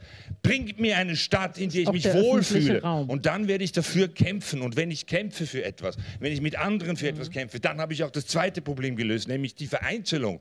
Ich will mich wohlfühlen in einem, in einem Kontext, und mit einer Vision, für die ich kämpfen kann, mit anderen, die mit mir kämpfen, dann fühle ich mich verdammt wohl. Und das sollten wir nicht Helene Fischer überlassen. Und das sollten wir, ich, Sie lachen jetzt, ich meine das ganz ernst. Helene Fischer macht das fantastisch und sie ja. investiert unglaublich viel Arbeit da rein. Und es funktioniert, die Stadien sind verdammt nochmal voll. Ich möchte diesen Wohlfühlcharakter haben. Ich will eine Vision von der Kultur. Und ich will das Gefühl haben, ich kämpfe dafür. Und wenn ich dann noch erlebe, dass andere auch für diese Vision kämpfen, dann habe ich das Wir-Gefühl. Und dann brauche ich nicht mehr den Fußballclub fürs Wir-Gefühl. Dann habe ich das Wir-Gefühl in der Gesellschaft. Und ich, ich, im Moment sind wir in einer in einer Agonie der Verzweiflung. Die Welt geht vor die Hunde. Die Gesellschaft bricht auseinander. Es wird doch permanent in den Medien behauptet, mir förmlich suggeriert, dass alles den Bach runtergeht. Und ihr wundert euch, dass die Theater nicht funktionieren. Ihr wundert euch, dass die Museen nicht funktionieren. Die können nicht funktionieren in so einem Klima. So, so jetzt haben wir, mehr habe ich heute nichts mehr zu sagen. Danke. Äh, So. Also, wenn also wir, wenn wir einen Schauspieler brauchen, äh, jetzt kommt aber noch die Irritation. auf, auf Max zurück. Genau, das jetzt kommt noch die das Irritation. War ich habe mich wirklich geärgert das jetzt, war, echt. Das war trotzdem eine tolle Performance und die kommt manchmal genau aus Wut. Also, also dazu, dazu laden gerade die intersektionalen Kolleginnen ein. Frauen habt äh, Wut und schreit sie raus. Also angry sein ist äh, nichts, wofür wir uns schämen sollten. Bei uns in Deutschland ja doch etwas, was man nicht gewohnt ist. Ähm, das ist sozusagen sozusagen eine akzeptable Form auch äh, äh, der Kommunikation ist. Ich hatte es mal versucht mit den äh, Biermöseln. Äh, äh die hatten ein wunderbares Programm Ausschwitzen. Äh, ich weiß nicht, wer sich noch erinnert von Ihnen. Ähm, und da ging es so: Da Sommer, hier Sommer. Sommer da, Sommer hier. Und das waren erwachsene Männer, äh, die ich mit 14 anschaute, nackt in Baströcken, in all ihrer Weisheit, mit ihren Bauchschwabbeln, auf die ich mich verlassen habe, wenn die Faschos irgendwie aufgekommen sind. Und die sehr klare Haltung hatten auch sozusagen auch ein Publikum. Wir hatten eine Atmosphäre, Sie wissen das äh, gerade als Grüne, von Hermann Glaser, ähm, äh, äh, Hilmar Hoffmann, also Zeiten, in denen Kultur für alle ja äh, auch mit äh, Ihnen äh, und anderen erschaffen worden ist. Ich glaube, wir sind einfach wirklich sehr viele Schritte da zurückgegangen. Ich würde äh, komplett mit dir gehen. Ich würde aber immer sagen, es ist die Gleichzeitigkeit. Wohlfühlen widerspricht nicht einer kritischen Reflexion. Ne? Das ist ja nicht sozusagen, wir reflektieren nicht mehr kritisch, wir sind nicht mehr kritisch. Ich würde aber total einhergehen. Wir dürfen nicht vergessen, auch da wieder Geschichte. Die Kunst hat sich schuldig gemacht in unserem Land. Das heißt, es war sehr wohl möglich, die, äh, die Klassik äh, weiter zu spielen, auch mit den Nazis. Die haben das gerne geschaut. Und es ist heute auch ein Herr Jongen, ein Herr Tillschneider, die den Brecht loben und gerne auch Brecht äh, spielen lassen würden, eben nach ihrer Fassung. Also man muss da wirklich wirklich sehr, es ist nämlich nicht so, dass sozusagen die Kunst äh, äh, der Erretter oder dergleichen sein könnte. Ich finde die Frage sehr relevant, auf die Oliver nicht geantwortet hat. Ich will gar keine jetzt, ne, äh, wir schätzen uns prinzipiell, aber haben sicher andere Ansätze für Theater. Ähm, Trotzdem würde ich äh, bitten, das einfach ernst zu nehmen. Ich glaube, das bedeutet was. In Berlin ein repräsentatives Haus, egal ob das Deutsche Theater oder das Berliner Ensemble, bis heute, du hast ja demnächst Cynthia Mikas, nicht einen schwarze Protagonistin nach äh, wirklich in einer Geschichte, seit den Kurfürsten gibt es Schwarze hier, in so vielen Generationen. Das ist eine Schande und da müsst ihr euch an die Nase fassen, was haben wir die letzten Jahrzehnte gemacht? Warum sind bestimmte, ich sage nicht, dass es keine Versuche gegeben hat, es geht aber nicht, dass die repräsentativsten Theater, ein Berliner Ensemble, ein deutsches Theater, wo man genau das denkt, da sind die besten Schauspieler. Wenn ihr da keine Schwarze habt und niemand mit Hintergrund, dann sagt ihr, da gibt es keine Guten. So einfach ist das. Doch, so einfach ist das, wenn man sich nicht darum bemüht. Und ich finde, das sind die wichtigen Dinge, die man in Institutionen, also alles, was sozusagen Institution heißt, Repräsentation auch, da muss man das Publikum auch einladen, indem man die Möglichkeit für Identifikation, Empathie gibt. Und im Programm sehe ich das genauso. Für mich heißt Zugang, ich verstehe, bei uns gibt es keine dicken Programmhefte, was ich äh, höre, was ich sehe. Das heißt aber nicht die Vereinfachung, die uns gerade ja die Rechte bietet, sozusagen, die rechte Droge, alles einfach zu erklären. Natürlich sind die Dinge kompliziert, natürlich gibt es Konflikte und wir versuchen immer wieder wirklich auch bis hin zu äh, äh, anschließenden Workshops, die wir anbieten, um gemeinsame Gespräche, also in einen Raum zu kommen, in dem wir uns begegnen und zwar nicht nur das Theater rezipierend, empfindend, sondern danach miteinander sprechen, Workshops machen, äh, bis hin zu äh, wirklich mittlerweile schamanistischen Angeboten, die es nächstes Jahr bei uns gibt äh, im Rahmen eines Festivals. Es geht darum, Begegnungen zu schaffen. Trotzdem finde ich eben sehr wichtig zu wissen, und da würde ich Oliver recht geben, dass wir natürlich am Ende, das wissen wir ja, wir erreichen zwei Prozent sind es oder so der Gesellschaft im Theater. Wichtig ist es aber trotzdem, ich würde nämlich nicht dem Argument irgendwie anheimfallen zu sagen, das ist nur eine Nische. Die Frage ist doch, das war immer schon so, dass natürlich nur ein Teil der Bevölkerung gekommen ist, aber wie ist diese Bevölkerung interessiert, wie multipliziert sich das, äh, äh, wie nehme ich Schlüsselmomente damit, die du ja beschrieben hast aus deiner Biografie. Und letzter Widerspruchspunkt, kulturelle Bildung. Ich finde, Kultur und Bildung äh, sozusagen auch aus der Kunstperspektive so, äh, so, zu differenzieren. Total falsch. Alle Theater können die Kritik bitteschön annehmen, dass Theaterpädagogik immer das Letzte ist, woran wir denken, immer das Letzte ist, worin wir Geld stecken, immer das Letzte ist, weil wir natürlich mit der Kunst äh, erstmal glänzen und weil das nicht unser prioritärer Kulturauftrag ist. Aber auch die Stadt, nur am Beispiel Berlin, letzte Sätze, hat hier vor zehn Jahren abgeschafft, dass jede Institution Kulturpädagogen zusätzlich bekommt bekommen hat, um Vermittlungsarbeit zu machen. Also das heißt, es ist auf mehreren Ebenen so, dass tatsächlich, und ich finde kulturelle Bildung, das ist der Moment, wo es Schlüsselmomente gibt. Und die, bitteschön, kann man in der Schule übrigens auch erleben. Bei mir war es der Musiklehrer mit Luigi Nono und seiner Geschichte und der Deutschlehrer mit Büchner. Das hat mich politisiert, das hat mich sozusagen, also ich war eben, ich war ein Gastarbeiterkind und ich hatte nicht den direkten Zugang äh, in die Oper. Ich weiß nicht, ob ich ich da das gelernt hätte äh, oder diese Schlüsselmomente erlebt hätte. Ähm, ich will nur sagen, ich würde nicht so gegeneinander stellen. Ich glaube, genau die Zusammenarbeit dieser beiden Institutionen, die wird aber gesetzlich nicht gefördert, die wird aber in den Regularien nicht gefördert, die wird aber, also total bei dir. Wir müssen raus, wir müssen Kooperationen suchen, wir müssen sozusagen äh, neben der hehren Kunst und äh, die wir machen, schauen, wie wir Dialoge entfachen können, wie wir wo wohlfühlen. Natürlich, äh, ein, ich gehe an einen Ort, an dem ich sein kann, an dem ich diskutieren kann, indem, an dem ich meine Meinung sagen kann, in dem ich lachen oder auch äh, Buh schreien kann, in dem was passiert. Und, und das finde ich das Allerwichtigste, weil Kunst, wie gesagt, äh, wird auch äh, unter einer AfD weiter stattfinden. Okay. Können. Jetzt haben wir zwei heftige äh, Plädoyers gehört. Jetzt muss ich Raum schaffen, äh, äh, öffentlichen, damit Herr Rede, Rese darauf antworten kann. Aber eigentlich ist Frau Rögler dran. Äh, Erstmal, äh, erstmal Herr Riese. Also, lieber Herr Mohr, ich weiß gar nicht, womit ich Ihren äh, Ausbruch, den ich aber toll fand, provoziert habe.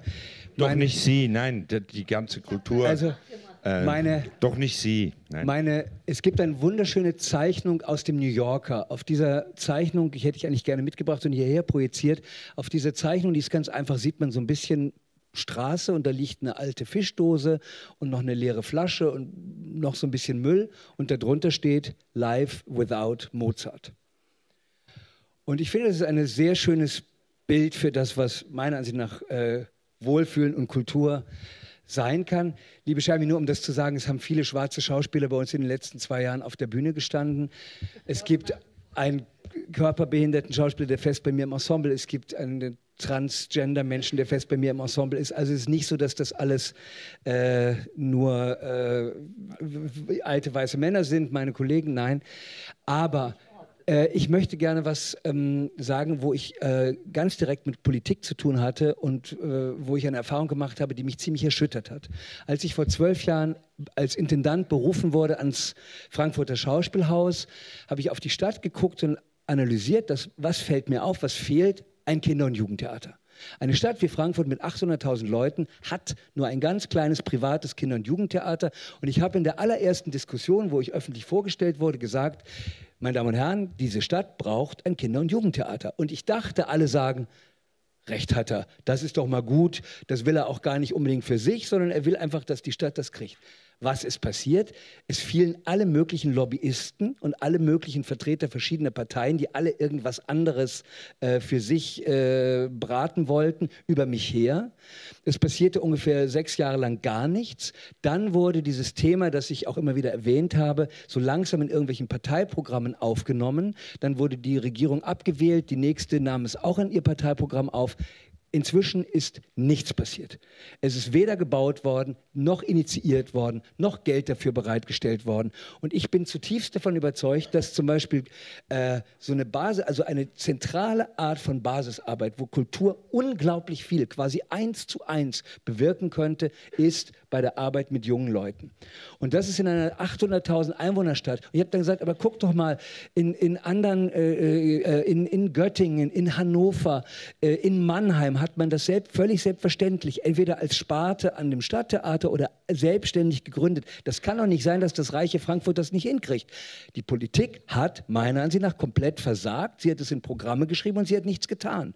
Und das sind so Erfahrungen, wo ich sagen muss, dann lasst uns nicht immer auf die Schulter klopfen, wie toll wir sind, sondern ähm, das ist eine Erfahrung, die hat mich ganz real richtig erschüttert. Gut, Frau Röckler hat jetzt viele, viele Anknüpfungspunkte. Genau. Und wenn äh, Sie dann knapp. die Güte hätten, dass wir zu diesem Politik, zur Frage der Gewährleistung von genau, Politik, genau. Äh, darauf müssen wir jetzt zu sprechen kommen. Äh, und die Idee war ja auch, dass es noch äh, einige Reaktionen aus dem Publikum gibt. Genau, ganz kurz. Also zum Thema Wohlfühlen nur ganz kurze Reaktion, weil da gehen bei mir auch die, die geht das Gemüt äh, hoch. Ähm, tatsächlich, es wurde ja auch schon gesagt, es schließt sich nicht aus. Äh, es geht darum, Räume zu schaffen, in denen man sich begegnen kann, in denen man Dinge aushandeln kann, in denen man etwas wahrnehmen kann. Kunst soll auch erstaunen, soll auch überraschen können und soll nicht das äh, immer altbekannte äh, äh, bringen. Und das ist sozusagen der, der Punkt. Ähm, äh, ein bisschen irritiert hat mich auch dieses Ausspielen zwischen Bildung und, äh, und äh, kult, äh, kulturelle Vermittlung oder Kultur, äh, Kunstvermittlung. Bleiben wir mal bei der Kunst. Äh, äh, ich finde, da, da, haben wir einen Manko auf beiden Seiten. Also es ist auch in der Bildungspolitik, es ist ein Wahnsinn, was in Deutschland los ist. Ich finde es irgendwie ziemlich erschreckend. Ich selber habe auch drei Kinder und, und kriege da, da doch ziemlich klar mit, was in den Schulen so passiert. da werden gerade Künstler, die in Schulen gehen und dort Arbeit machen, werden auch prekarisiert, werden nicht ernst genommen, sind ganz am, am unteren Ende. Äh, äh, das das finde ich ein, ein, Missstand, der ist äh, ganz schön merkwürdig und da, da, da, haben wir, da wäre anzusetzen in beiden Bereichen. Ähm, ja, ähm, Vielleicht komme ich äh, ziemlich schnell zur, zur Politik. Äh, warum ich zuerst diese ganze Arie von dem Fördersystem äh, gesagt habe, ist, äh, da, äh, ich komme gerade aus Polen, äh, ich habe dort sehr deprimierte Menschen getroffen. wir müssen zusehen, dass wir nicht uns von Politikern unser künstlerisches Programm äh, entscheiden lassen. Das kann einfach andere Leute dann plötzlich, die sitzen ja schon teilweise da. Äh, insofern muss, muss, das getrennt bleiben. Mit dem derzeitigen Fördersystem ist leider Gottes es eine Tendenz gegeben, dass die Politik entscheidet, was äh, äh, künstlerisch äh, gemacht wird. Ich habe das ein bisschen umständlich vielleicht versucht zu erklären über diese Auslagerung in Jury-Systemen und über äh, Sonderförderungsprogramme, wo im Grunde inhaltliche Schwerpunkte gesetzt werden. Das Lutherjahr ist dann noch das harmloseste auf eine Weise, äh, aber es ist, es ist sehr, sehr schwierig. Da muss man eine grundsätzliche institutionelle Förderung ergänzend zu einer sehr starken Förderung der freien Szene. Also man muss beides äh, machen und eben nicht äh, auf diese Struktur setzen. Ähm, ja, im Grunde, ja, das äh, ist ein, ein, Hauptpunkt, den ich hier äh, mitbringen wollte. Ähm, mm, ja. Genau. Ah. 61 Millionen Nachtragshaushalt mhm. gerade für mhm. äh, 30 Jahre Mauerfall bei der mhm. Bundesregierung. Ne? Mhm. Also ja, ja. wird eben mal, und zwar durchaus für Kultur oder auch bei uns im Land Berlin, 10 es, Millionen für einen Geld Tag. Da. Es ist, ist Geld möglich. da, es ist wahnsinnig viel Geld da, aber es wird an der falschen äh, Stelle ausgegeben. Äh, und vielleicht noch also ganz weiter. Ist jetzt der Punkt, wenn ich da mal, also, also ich, ich äh, komme jetzt gerade äh, über das Thema, was, was kann sozusagen Kultur als Gewährleistung auch von, es geht um finanzielle Mittel, aber es geht auch um äh, sozusagen Möglichkeitsräume schaffen, äh, zum Beispiel das, äh, die europäische Kulturhauptstadt. Das ist ja eine politische Entscheidung gewesen zu sagen, wir wollen so etwas haben wie europäische Kulturhauptstädte. Würden Sie sagen, das ist quasi eine Vorgabe, die äh, diese Kultur in ihrer Freiheit beschränkt? Weil so, so, so, so verstehe ich das jetzt, wenn das Sie jetzt vergessen Na, hatten, das Geld nee, zu beantragen, ist, nee, das ist ja ein dumm Mittel gelaufen, aber da eine Internationalisierung, ja da, da, da, europäisches äh, Beziehungen, ein Netzwerk herzustellen, das finde ich nicht unbedingt das ist ein gutes Beispiel. Das ist eine, eher diese, diese inhaltlichen Schwerpunkte, die dann, wo dann plötzlich eben Geldertöpfe frei werden, und, und, und sehr hektisch dann auch Gelder vergeben werden für irgendwas, anstatt da eine Basisfinanzierung zu liefern in alle Richtungen. Und wenn, wenn Kultur alleine entscheidet und Politik nicht mehr entscheidet, wer garantiert dann, dass die kulturellen Räume öffentliche bleiben? Wie stellt man das dann her? Also glaub, niemand, niemand garantiert das dann. Genau. Die, Frage, die böse Frage ist ja, warum muss das garantiert sein?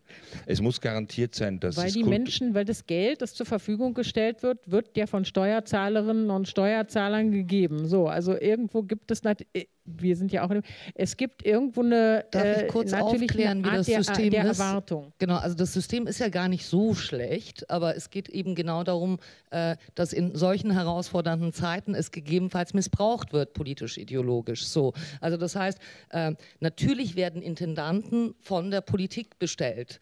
Äh, und zwar nur für fünf Jahre erstmal. Und man wird verlängert, wenn man für die Stadt eine anständige Arbeit macht. Und wenn der Kultursenator, also im Normalfall, ne?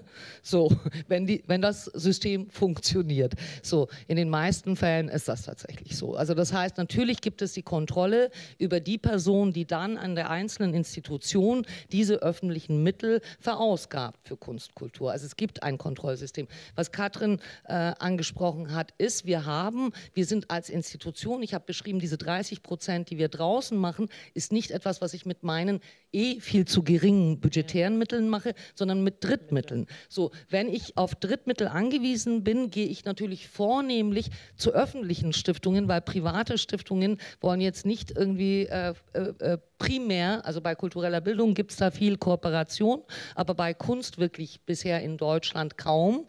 Einzel, einzelne Operngeschichten und größere Events schon, aber nicht im Spre Sprechtheater äh, bei uns.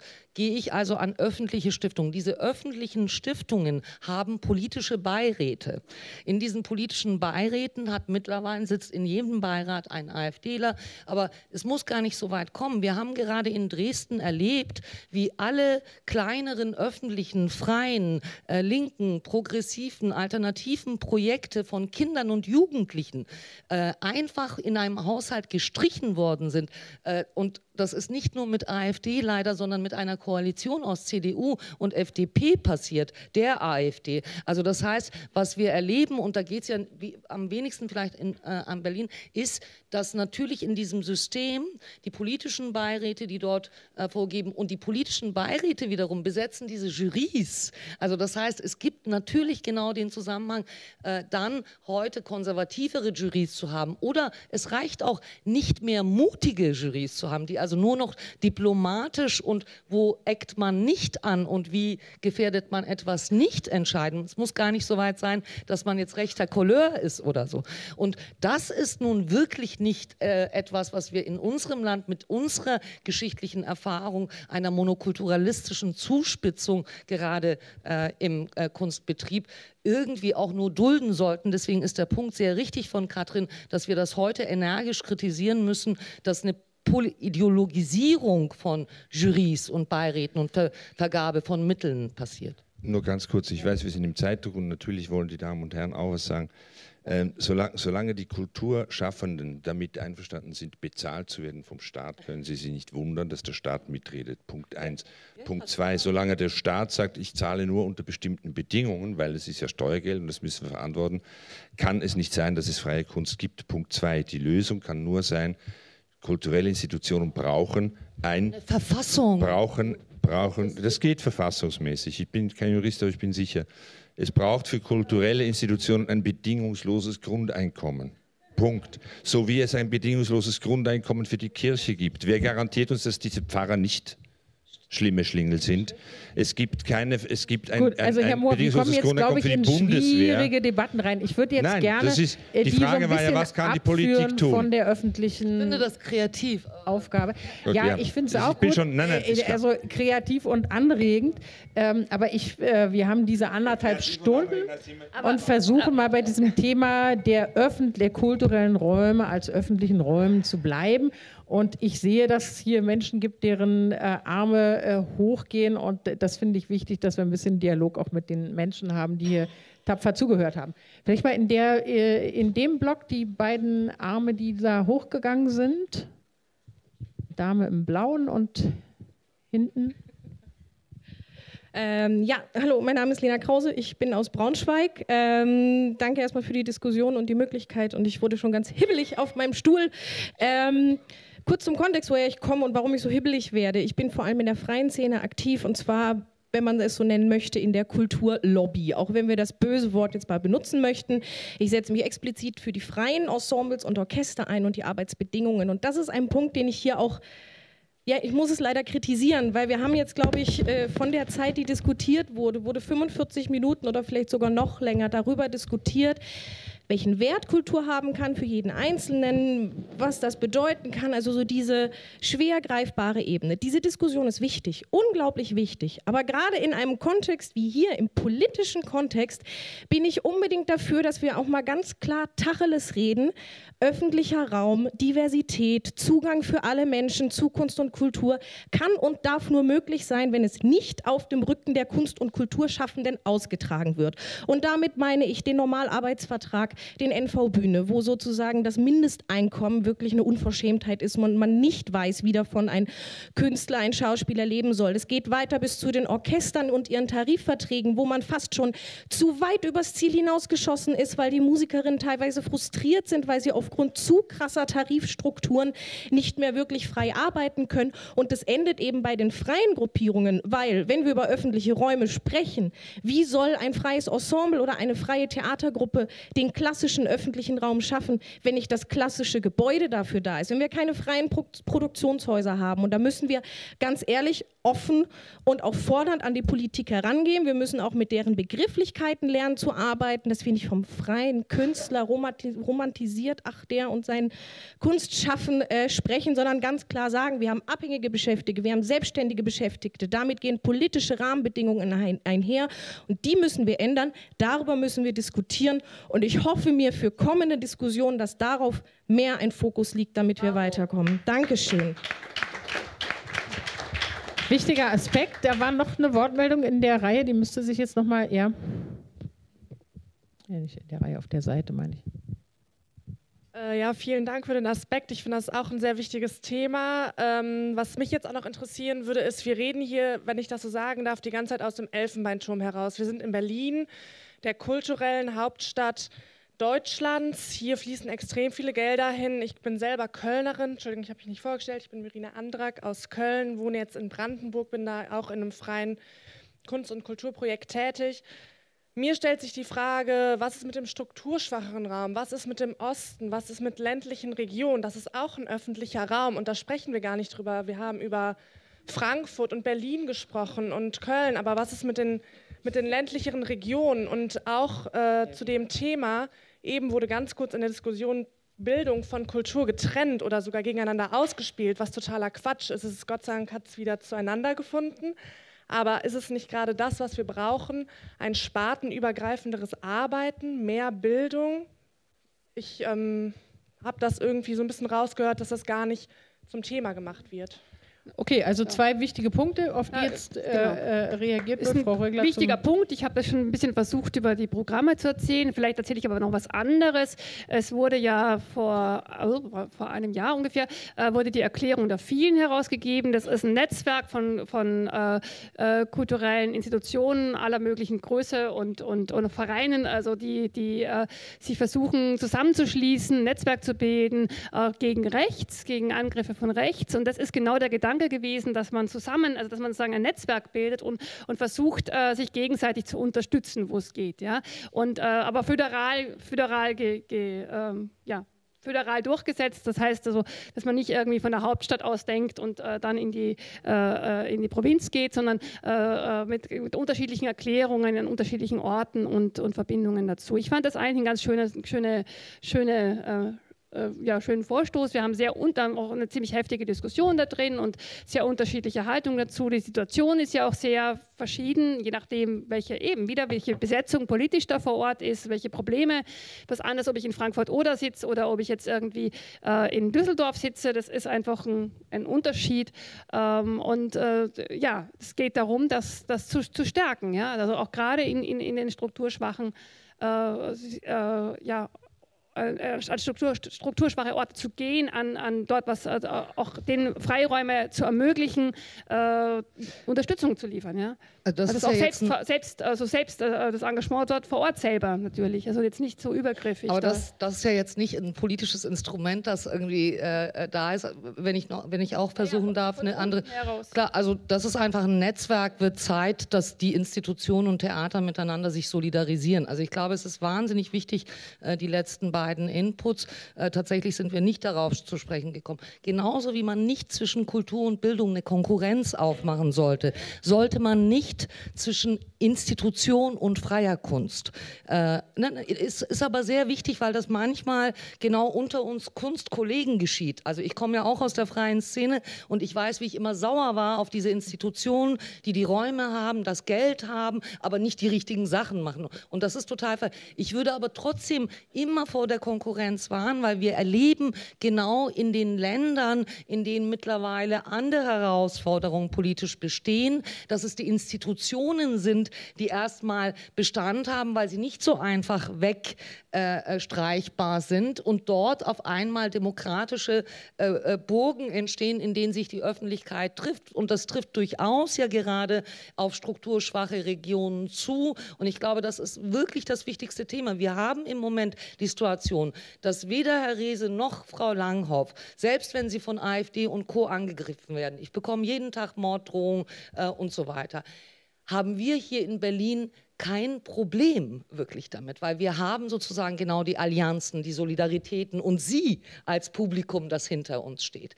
Das Problem haben Kollegen in Freiberg, in Cottbus, an Orten, wo eben nicht mehr die gesamte Stadtgesellschaft dahinter steht, wo nicht die Politik dahinter steht oder zumindest große Teile der Politik dahinter stehen. Und deswegen ist das wahnsinnig wichtig. Also was können wir leisten, was kann die Politik leisten, das können nicht nur ähm, äh, solidarische Verbünde leisten, aber die sind auch wichtig, ähm, äh, um den, äh, die Kollegen zu stärken, Solidarität zu üben. Auch das Beispiel, das ich gerade aus Dresden genannt habe.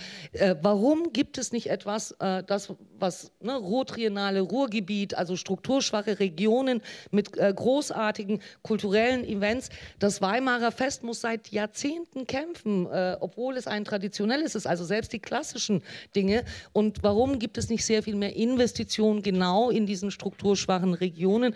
Sie haben total recht mit beiden Ihren Inputs, äh, dass das die wichtigen Punkte sind und dass es genauso wie in der gesamten Gesellschaft eben nicht um äh, das ist richtig, das ist falsch. Wir brauchen beides. Und wie können wir heute, wo das Stadtbad gegebenenfalls, wir brauchen das Stadtbad und das Theater, weil auch diese Konkurrenz wird mittlerweile aufgemacht. In Bonn gab es schon vor sechs Jahren eine Unterschriftenkampagne. Also wie schaffen wir gemeinsam dafür, dass wir ja uns ertüchtigen müssen und ins Schwimmbad gehen äh, und auch unser, unseren Herzmuskel, unseren Hirnmuskel und anderes, uns wohlfühlend und diskutierend, äh, aufstehend und dorsamer machend, wir beide irgendwie uns gegenseitig beflügeln müssen, engagierter weiterzumachen an den Problemfeldern. Und da haben Sie total recht. Alles, was wir vorher ge gesprochen haben, wissen Sie eigentlich auch. Mhm.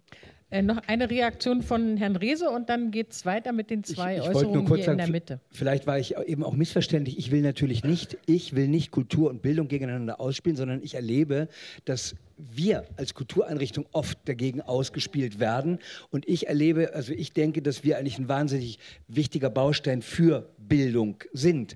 Und es stimmt schon, dass die Arbeitsbedingungen in der Provinz gegenüber den Arbeitsbedingungen in der Hauptstadt Du bist das ärmste der fünf Theater, ich bin das zweitärmste dieser fünf Theater. Äh, aber uns geht es im Verhältnis natürlich. Neulich habe ich in Plauen mit dem Kollegen gesprochen, mir eine Vorstellung angeguckt, gehört, wie arbeiten die Schauspieler da, was sind da die Belastungen. Das ist überhaupt nicht zu vergleichen. Und deswegen wäre es, glaube ich, demnächst auch wichtig, äh, wann immer ihr wieder ein Podium, genau, wann immer ihr wieder so ein Podium macht, glaube ich, müssen unbedingt äh, nicht nur Hauptstadtkulturvertreter hier oben sitzen. Absolut richtig. Ähm, ja, Mikrofon ist direkt bei Ihnen. Dankeschön. Angelika Wernig, neugierig in Berlin. Mehr sage ich jetzt nicht dazu. Äh, ich möchte einfach auf zwei Punkte aufmerksam machen. Ähm, die haben Sie bestimmt im Kopf, aber trotzdem fallen sie für mein Gefühl immer zu sehr runter.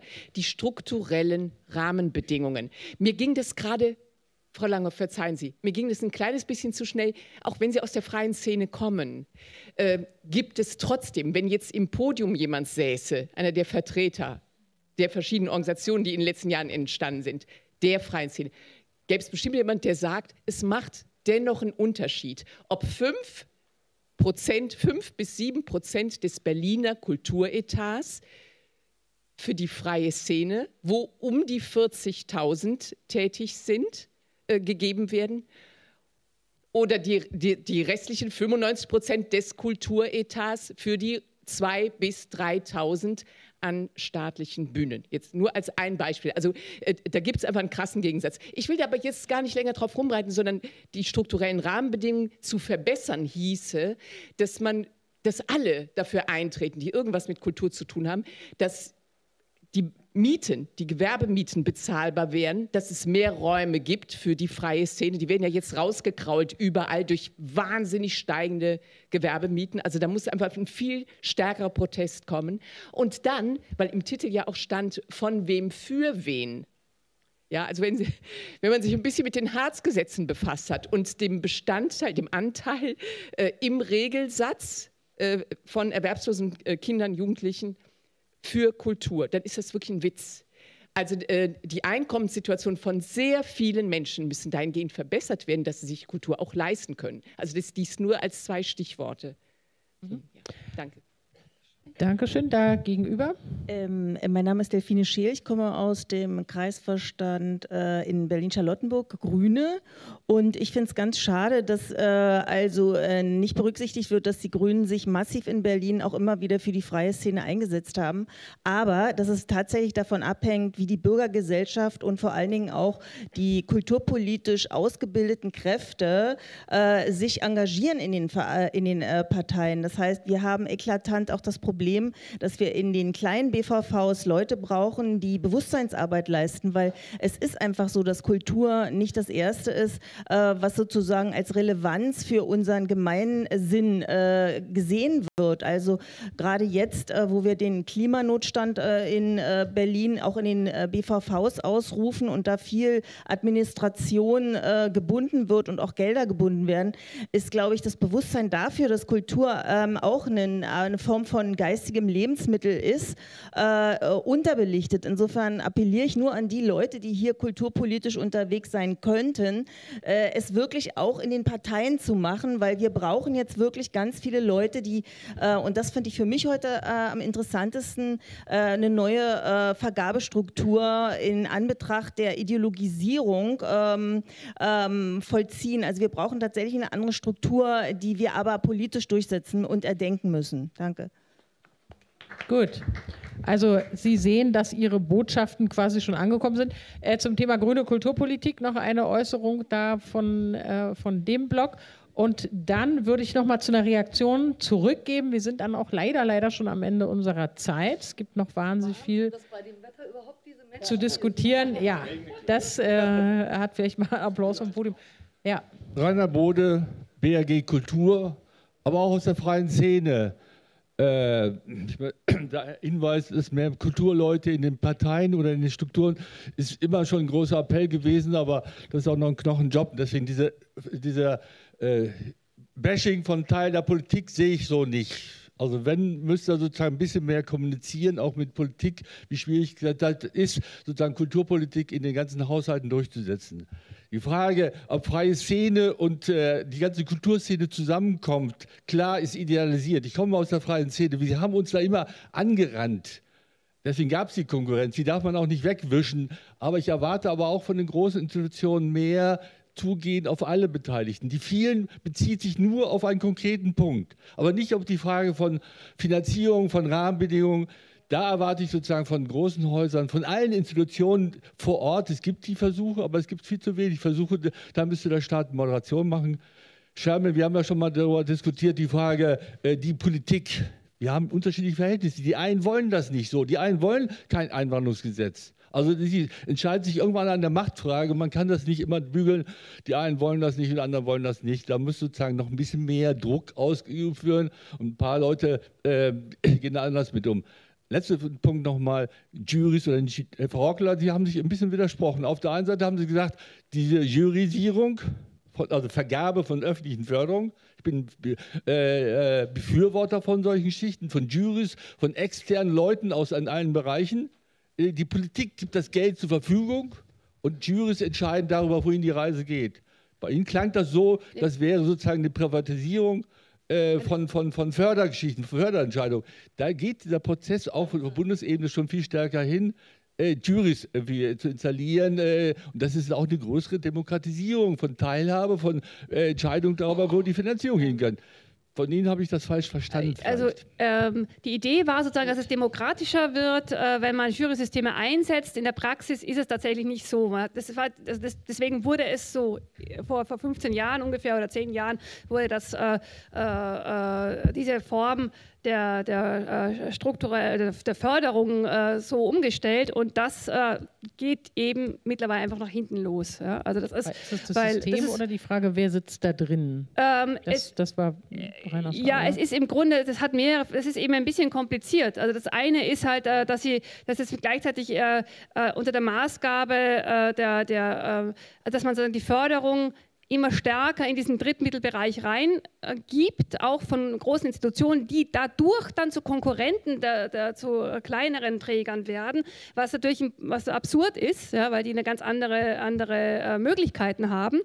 Äh, zum anderen, dass eben, das hat Frau äh, Jerme-Langhoff hat es ja ganz gut äh, auch nochmal gebracht, äh, werden diese Podien, also diese, diese Jurys dann auch von, von Beiräten besetzt, beziehungsweise sind es einfach nicht unbedingt die unabhängigen Jurys, die, wir, die man äh, überall finden kann. Zum Dritten gibt es einfach nicht, ich bin selber, ich werde sehr oft angefragt für Jurys. Ehrlich gesagt, es ist schwierig. Also ich kann nicht dauernd in irgendwelchen Jurys sitzen, es ist auch so eine ehrenamtliche Arbeit oder ganz, ganz, ganz schwach entlohnt.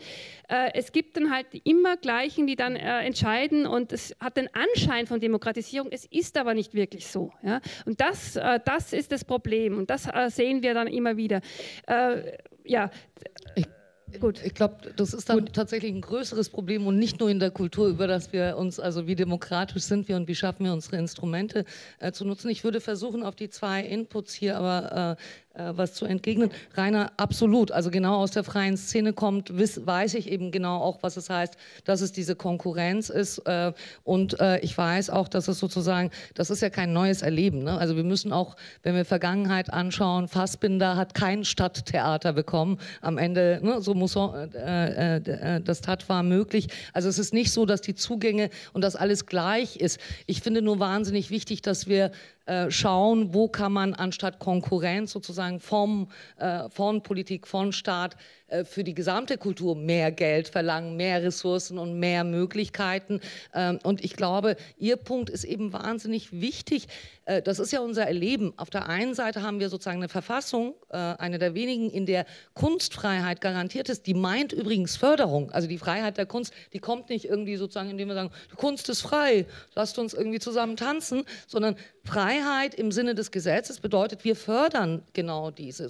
Ich glaube, das ist ein sehr wichtiger Punkt. Der findet sich aber auf einmal in unseren Kommunen, also dort, wo die Strukturschwachen sozusagen, wo die Regionen sind, nicht wieder. Da heißt es, Kultur ist eine freiwillige Aufgabe. Das steht da, das ist Gesetz. Und was passiert, wenn Sie einen Haushalt äh, äh in, einem, äh, in einer Region, in der es insgesamt wenig gibt, viele Herausforderungen gibt, aufteilen müssen? Und wenn Kultur die einzige freiwillige Aufgabe ist, dann fällt die ab. Wir müssen Gesetze, das meinte ich am Anfang, wenn ich sagte, seit 15 Jahren füge, fügen wir als postmigrantisches Theater neue Geschichten dem Kanon zu. Das funktioniert auf der Ebene von Diskurs gut, aber Gesetze haben sich nicht geändert. Das heißt, wir brauchen doch, in Deutschland müsste doch ganz klar diese Kultur wäre eine freiwillige Aufgabe der Kommunen, das muss doch abgeschafft werden. Das muss doch eine äh, Verpflichtung der Kommunen sein, Kultur in ihren Haushalten zu berücksichtigen kriegen, kulturelle Bildung und kulturelle Räume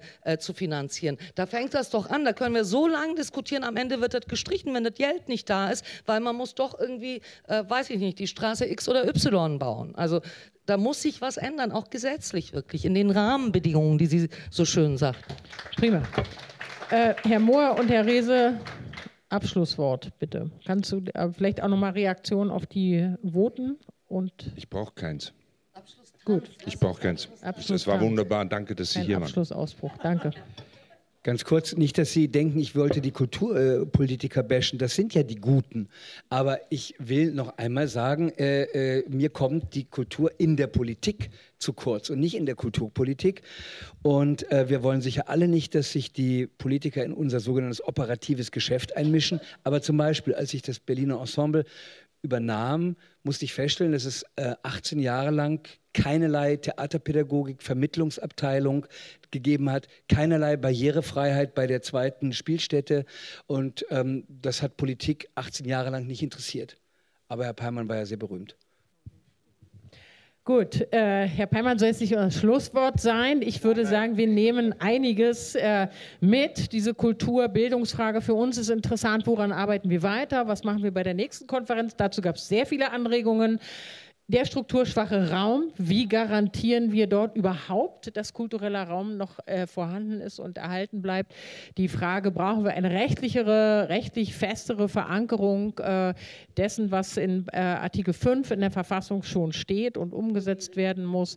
Äh, und wie ist eigentlich das Verhältnis von Kultur und Bildung eines der Schwerpunktthemen, die die Böll bearbeitet. Ich danke Ihnen ganz, ganz herzlich für die hoch engagierte Diskussion.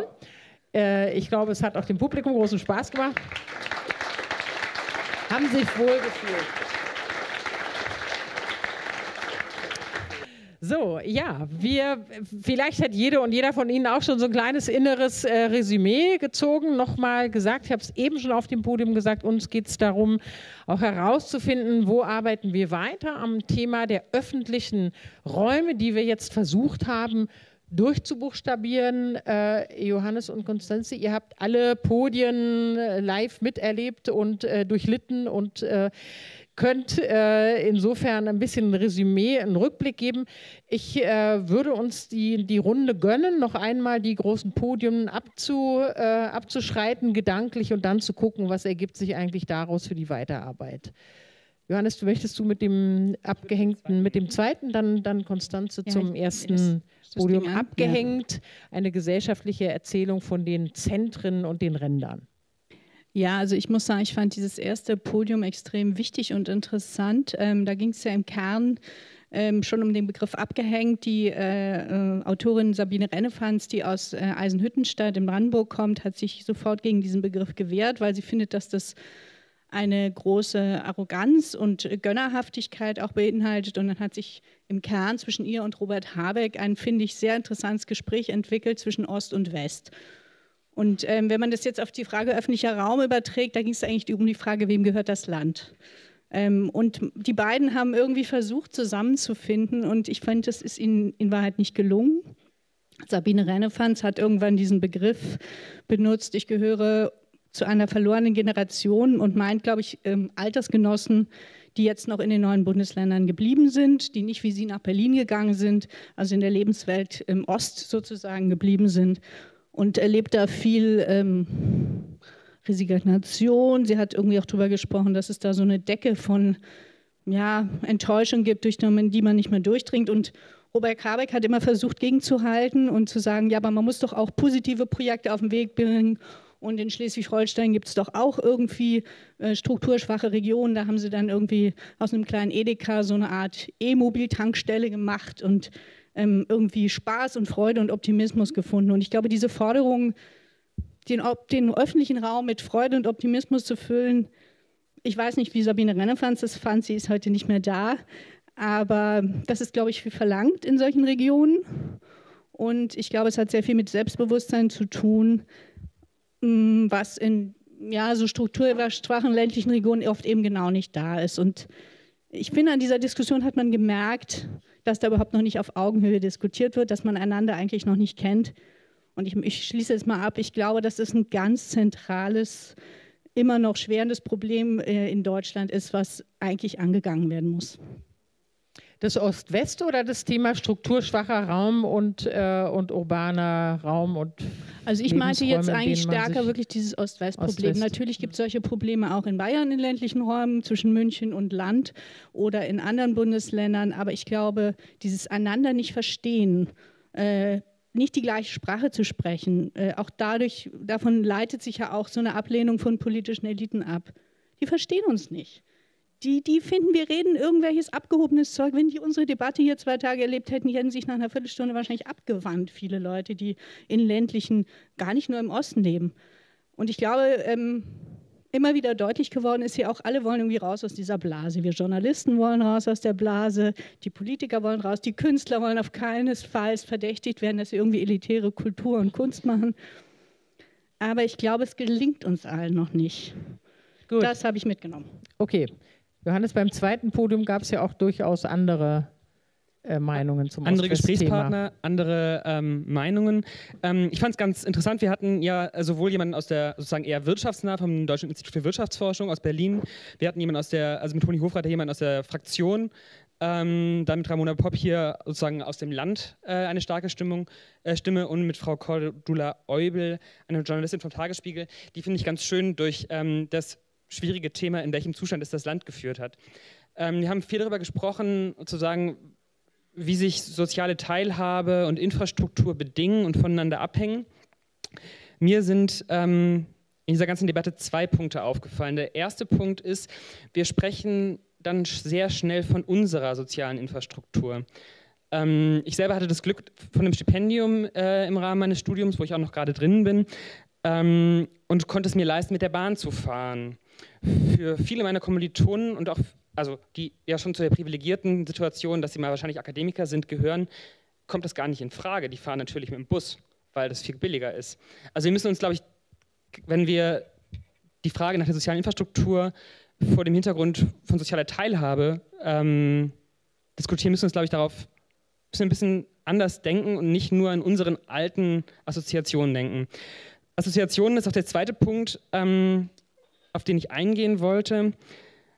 Ich glaube, dass wir Orte für Begegnung brauchen und dass wir da rein investieren müssen. Wir haben hier ganz unterschiedliche Wortmeldungen aus dem Publikum gehabt und es waren meistens persönliche Erfahrungen, persönliche Assoziationen, die, also es war meine Empfindung jedenfalls, geteilt werden mussten, irgendwie erzählt werden mussten, miteinander geteilt werden mussten.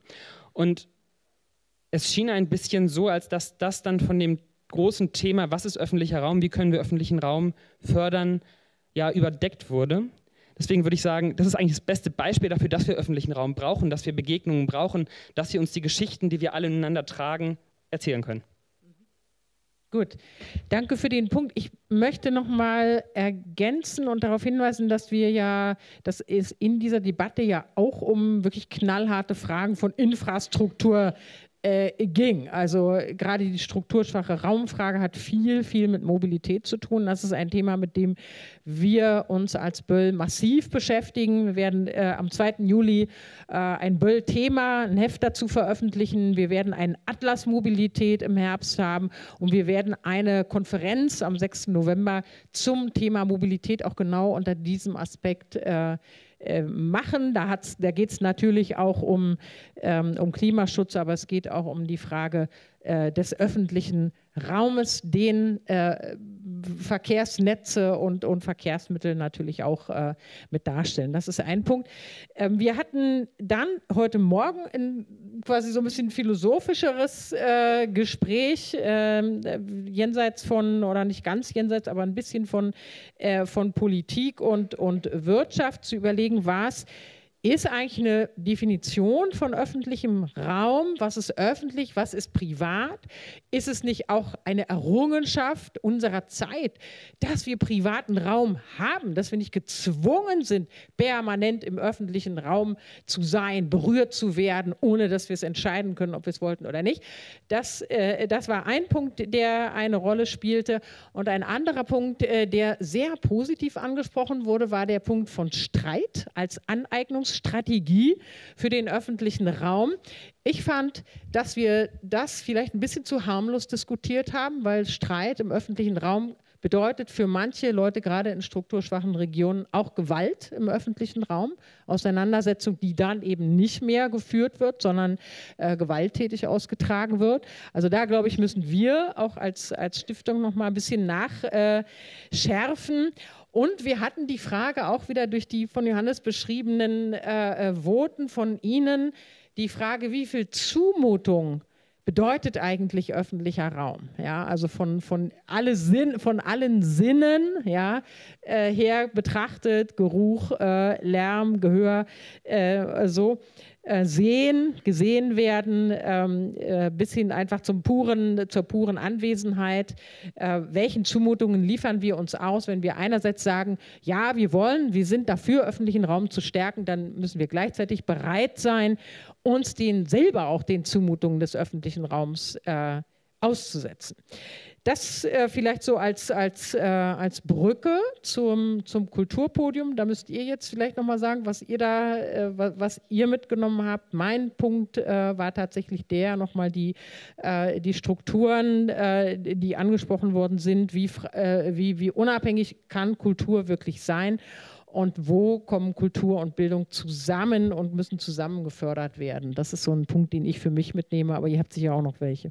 Ich äh, würde eigentlich gerne noch was zu dem Podium sagen, zu dem dritten, von dem du jetzt gerade gesprochen hast und mhm. dir die Kultur überlassen. Mir die Kultur überlassen. Ich studiere in Sachsen-Anhalt, in der wunderbaren Stadt Halle an der Saale, wo es ein wunderbares Theater gibt. Das Theater lebt von den Schülern, die da hingehen, weil das Theater, wenn in der Schule Brecht gelesen wird, Brecht spielt, sozusagen eine andere Interpretation.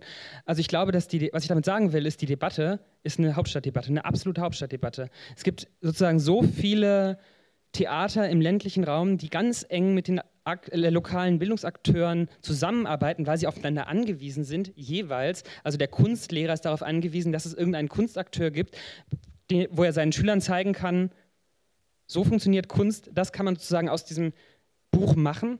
Ähm, und das Theater nimmt natürlich die Gelder, die die Schüler in, den, äh, in das Theater bringen, auch gerne mit rein. Also ich habe die Debatte ehrlich gesagt jetzt aus der Landperspektive nicht verstanden. Ja, aber die Landperspektive, es ist ja Sachsen-Anhalt bekanntermaßen eine sehr dichte Kulturlandschaft. Also wir wollen jetzt nicht anfangen, über Sachsen-Anhalt zu diskutieren, mit vielen Kürzungen. Deswegen war ja die Idee da, den Rotschiff mal anzusetzen. Und ich glaube, Halle ist wirklich ein Ausnahmebeispiel. Also das muss man wirklich sagen. Ich glaube, dass das in anderen Aber ich glaube, die Vernetzung von so Bildung das, und Kultureinrichtungen ist, ist kein Ausnahmebeispiel. Und es ist eine Strategie. Ja, ein Hinweis auf jeden Fall auf eine Strategie. Ja, ich wollte noch was äh, zu äh, ähm Stefan Lesse nicht sagen. Das fand ich ein echtes Highlight in diesen zwei Tagen. Er hat nämlich daran erinnert, dass äh, wir sprechen ja hier in einem Kontext einer eigentlich grünen Bewegung. Äh, das ist ja diese Stiftung. Die Grünen haben sich im öffentlichen Raum früher einfach genommen. Die haben demonstriert, die haben die Straßen ähm, gefüllt mit Menschen, die haben Häuser besetzt, die haben irgendein Wendland irgendwelche Hüttendörfer gebaut. Die haben nicht gefragt, ähm, ob das in Ordnung ist. Die haben da ihre Regeln äh, zum Teil auch selber gemacht. Da gab es natürlich viel, Menge, äh, viel Ärger, ähm, aber auch viel ähm, eigene Kreativität, aus der ja dann auf lange Sicht auch vieles entstanden ist, was heute zum Establishment gehört. Und ich glaube, diese Haltung, ähm, unbequem zu sein, öffentlichen Raum, die Gestaltung des öffentlichen Raums nicht nur zu verstehen aus so einer Perspektive, wie sie die Grünen heute haben, nämlich wir sind jetzt in vielen Landesregierungen schon drin. Wir kommen vielleicht bald in die Bundesregierung in eine Machtposition. Also wir gestalten öffentlichen Raum von oben sozusagen. Das ist natürlich eine wichtige Debatte. Aber auch dieses rebellische, querköpfige Element, was früher äh, die Gestaltung von öffentlichen Raum durch den grünen Schwarm sozusagen dargestellt hat, ähm, nicht zu vergessen, weil daraus kommt, glaube ich, das Profil dieser ganzen Strömung, ihre Kreativität und auch ihre Stärke. Und ich glaube, das wird in diesen ganzen doch jetzt schon sehr etablierten Debatten manchmal so ein bisschen vergessen. Aber war nicht die, der Hinweis auch auf die, äh, sowohl auf die Friday for Future als auch auf die Gelbwesten, äh, genau der, der Hinweis darauf, dass es durchaus auch heute äh, Leute gibt, die sich den öffentlichen Raum jetzt in Form von Straßen äh, nehmen? Ja, natürlich gibt es die, aber die gehören äh, und die gehören natürlich, werden jetzt ähm, gehören da im weitesten Sinne dazu. Aber ich glaube, dass die, die offizielle grünen Politik, wie sie von Partei und Fraktion kommuniziert wird, inzwischen die Sache sozusagen aus einer ganz anderen Perspektive betrachtet. Es ist eigentlich eher so ein, ähm, eine, ein Appell, sozusagen dieses ja, dieses, ich sehe das als schon ein sehr kreatives Element, nicht aus den Augen zu verlieren. Also geht es nicht nur um Hambacher Forst und ähm, gegen irgendwas sein und demonstrieren, sondern da geht es auch darum, eigene Lebensräume zu gestalten ähm, in Städten, auf dem Land. Ähm, das ist, glaube ich, der Kern dieses ganzen dieser ganzen Bewegung oder des Anliegens, wenn man im öffentlichen Raum auch Neues schaffen will und nicht nur verwalten will, wer jetzt wie, äh, wie viel Mittel zu kriegen hat. Aber es wäre trotzdem gut, wenn das Internet funktioniert und der Bus fährt, oder? Auf jeden Fall. Ich glaube aber, dass es ganz was Zentrales ist für die grüne Erzählung und für uns auch hier heute, dass wir verstehen, dass es nicht nur darum gehen kann, auf die Straße zu gehen, für ein Thema zu demonstrieren, sondern versuchen sozusagen eine Geschichte, ähm, eine Überzeugung zu entwickeln von dem, wie man Gesellschaft gestalten will.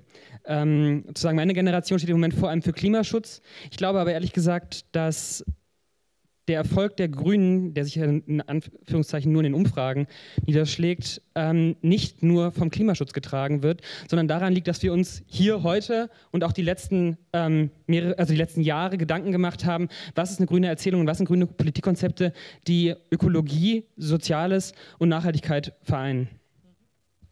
Äh, ich wollte euch eigentlich beide fragen, was habt ihr sozusagen an Empfehlungen und an Anregungen? An welcher Stelle sollte die Böll weitermachen? Sollten wir mit der grünen Erzählung weitermachen? Äh, aber das war, ich habe das schon sozusagen als so ein Teil der Antwort äh, verstanden. Ähm, auf jeden Fall, würde ich sagen. Ich hätte auch noch zwei Themen, die mir sozusagen auf dem, ähm, auf dem Herzen liegen. Ich glaube, da muss man den Grünen auch einen Vorwurf machen, Bildung. Wir waren in so vielen Landesregierungen oder wir sind in so vielen Landesregierungen und das Thema Bildungsgerechtigkeit, die Frau Dröscher ja gestern aufgegriffen hat, ist nach wie vor ein Thema, was A, wenig vorkommt im Diskurs und B, bei dem es keinerlei Verbesserungen gibt. Also ich glaube, ähm, wir müssen uns Gedanken, das ist, funktioniert nicht von heute auf morgen, das ist allen klar. Schulsystem ist irgendwie ziemlich kompliziert, viele Leute, viele verschiedene Interessen. Ähm, aber ich glaube, dass da die Böll-Stiftung vielleicht auch was tun kann, nämlich Konzepte überlegen, muss, wie man Bildungsgerechtigkeit ähm, ja, schaffen kann. Konstanze, was ist deine Empfehlung? Ja, ich, es gab zwei, zwei Themenfelder, die ich hier auf dem Podium ein bisschen vermisst habe. Das eine ist Gendergerechtigkeit. Ähm, ich glaube, das gehört ganz entscheidend dazu, inwieweit Frauen gleichberechtigt Zugang zu Ressourcen, Bildung, Wohlstand, ähm, äh, Wohnraum, Renten und allem kriegen, was äh, Männern relativ äh, oder eher zugebilligt oder selbstverständlicher ähm, sie erreichen können. Das ist, finde ich, ein ganz zentrales Thema. Und das Zweite, ähm, die Fragen nach ähm, Angriffen auf Leute mit dunklerer Haut oder äh, die für Ausländer gehalten werden, ähm, kam hier bis zu Charmin Langhoff immer aus dem Publikum. Ähm, das war hier auf, dem, ähm, auf der Bühne eigentlich kein Thema, was von innen heraus äh, kommuniziert würde. Also ähm, man, man weiß das, man sieht das, aber man fühlt sich eigentlich nicht selbst angegriffen.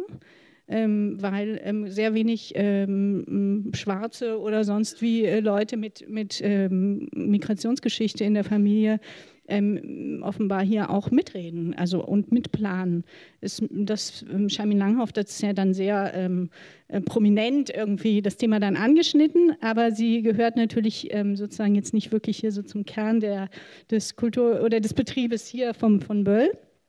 Das finde ich wichtig. Und ähm, ich würde mehr junge Leute einladen. Also wir sind ja irgendwie auch schon alte Knacker, du nicht, ich schon. Ähm bin, äh, ich, also um da kurz sozusagen reinzugucken, äh, ich bin sehr beeindruckt von dem Programm, was sie auf die Beine gestellt hat.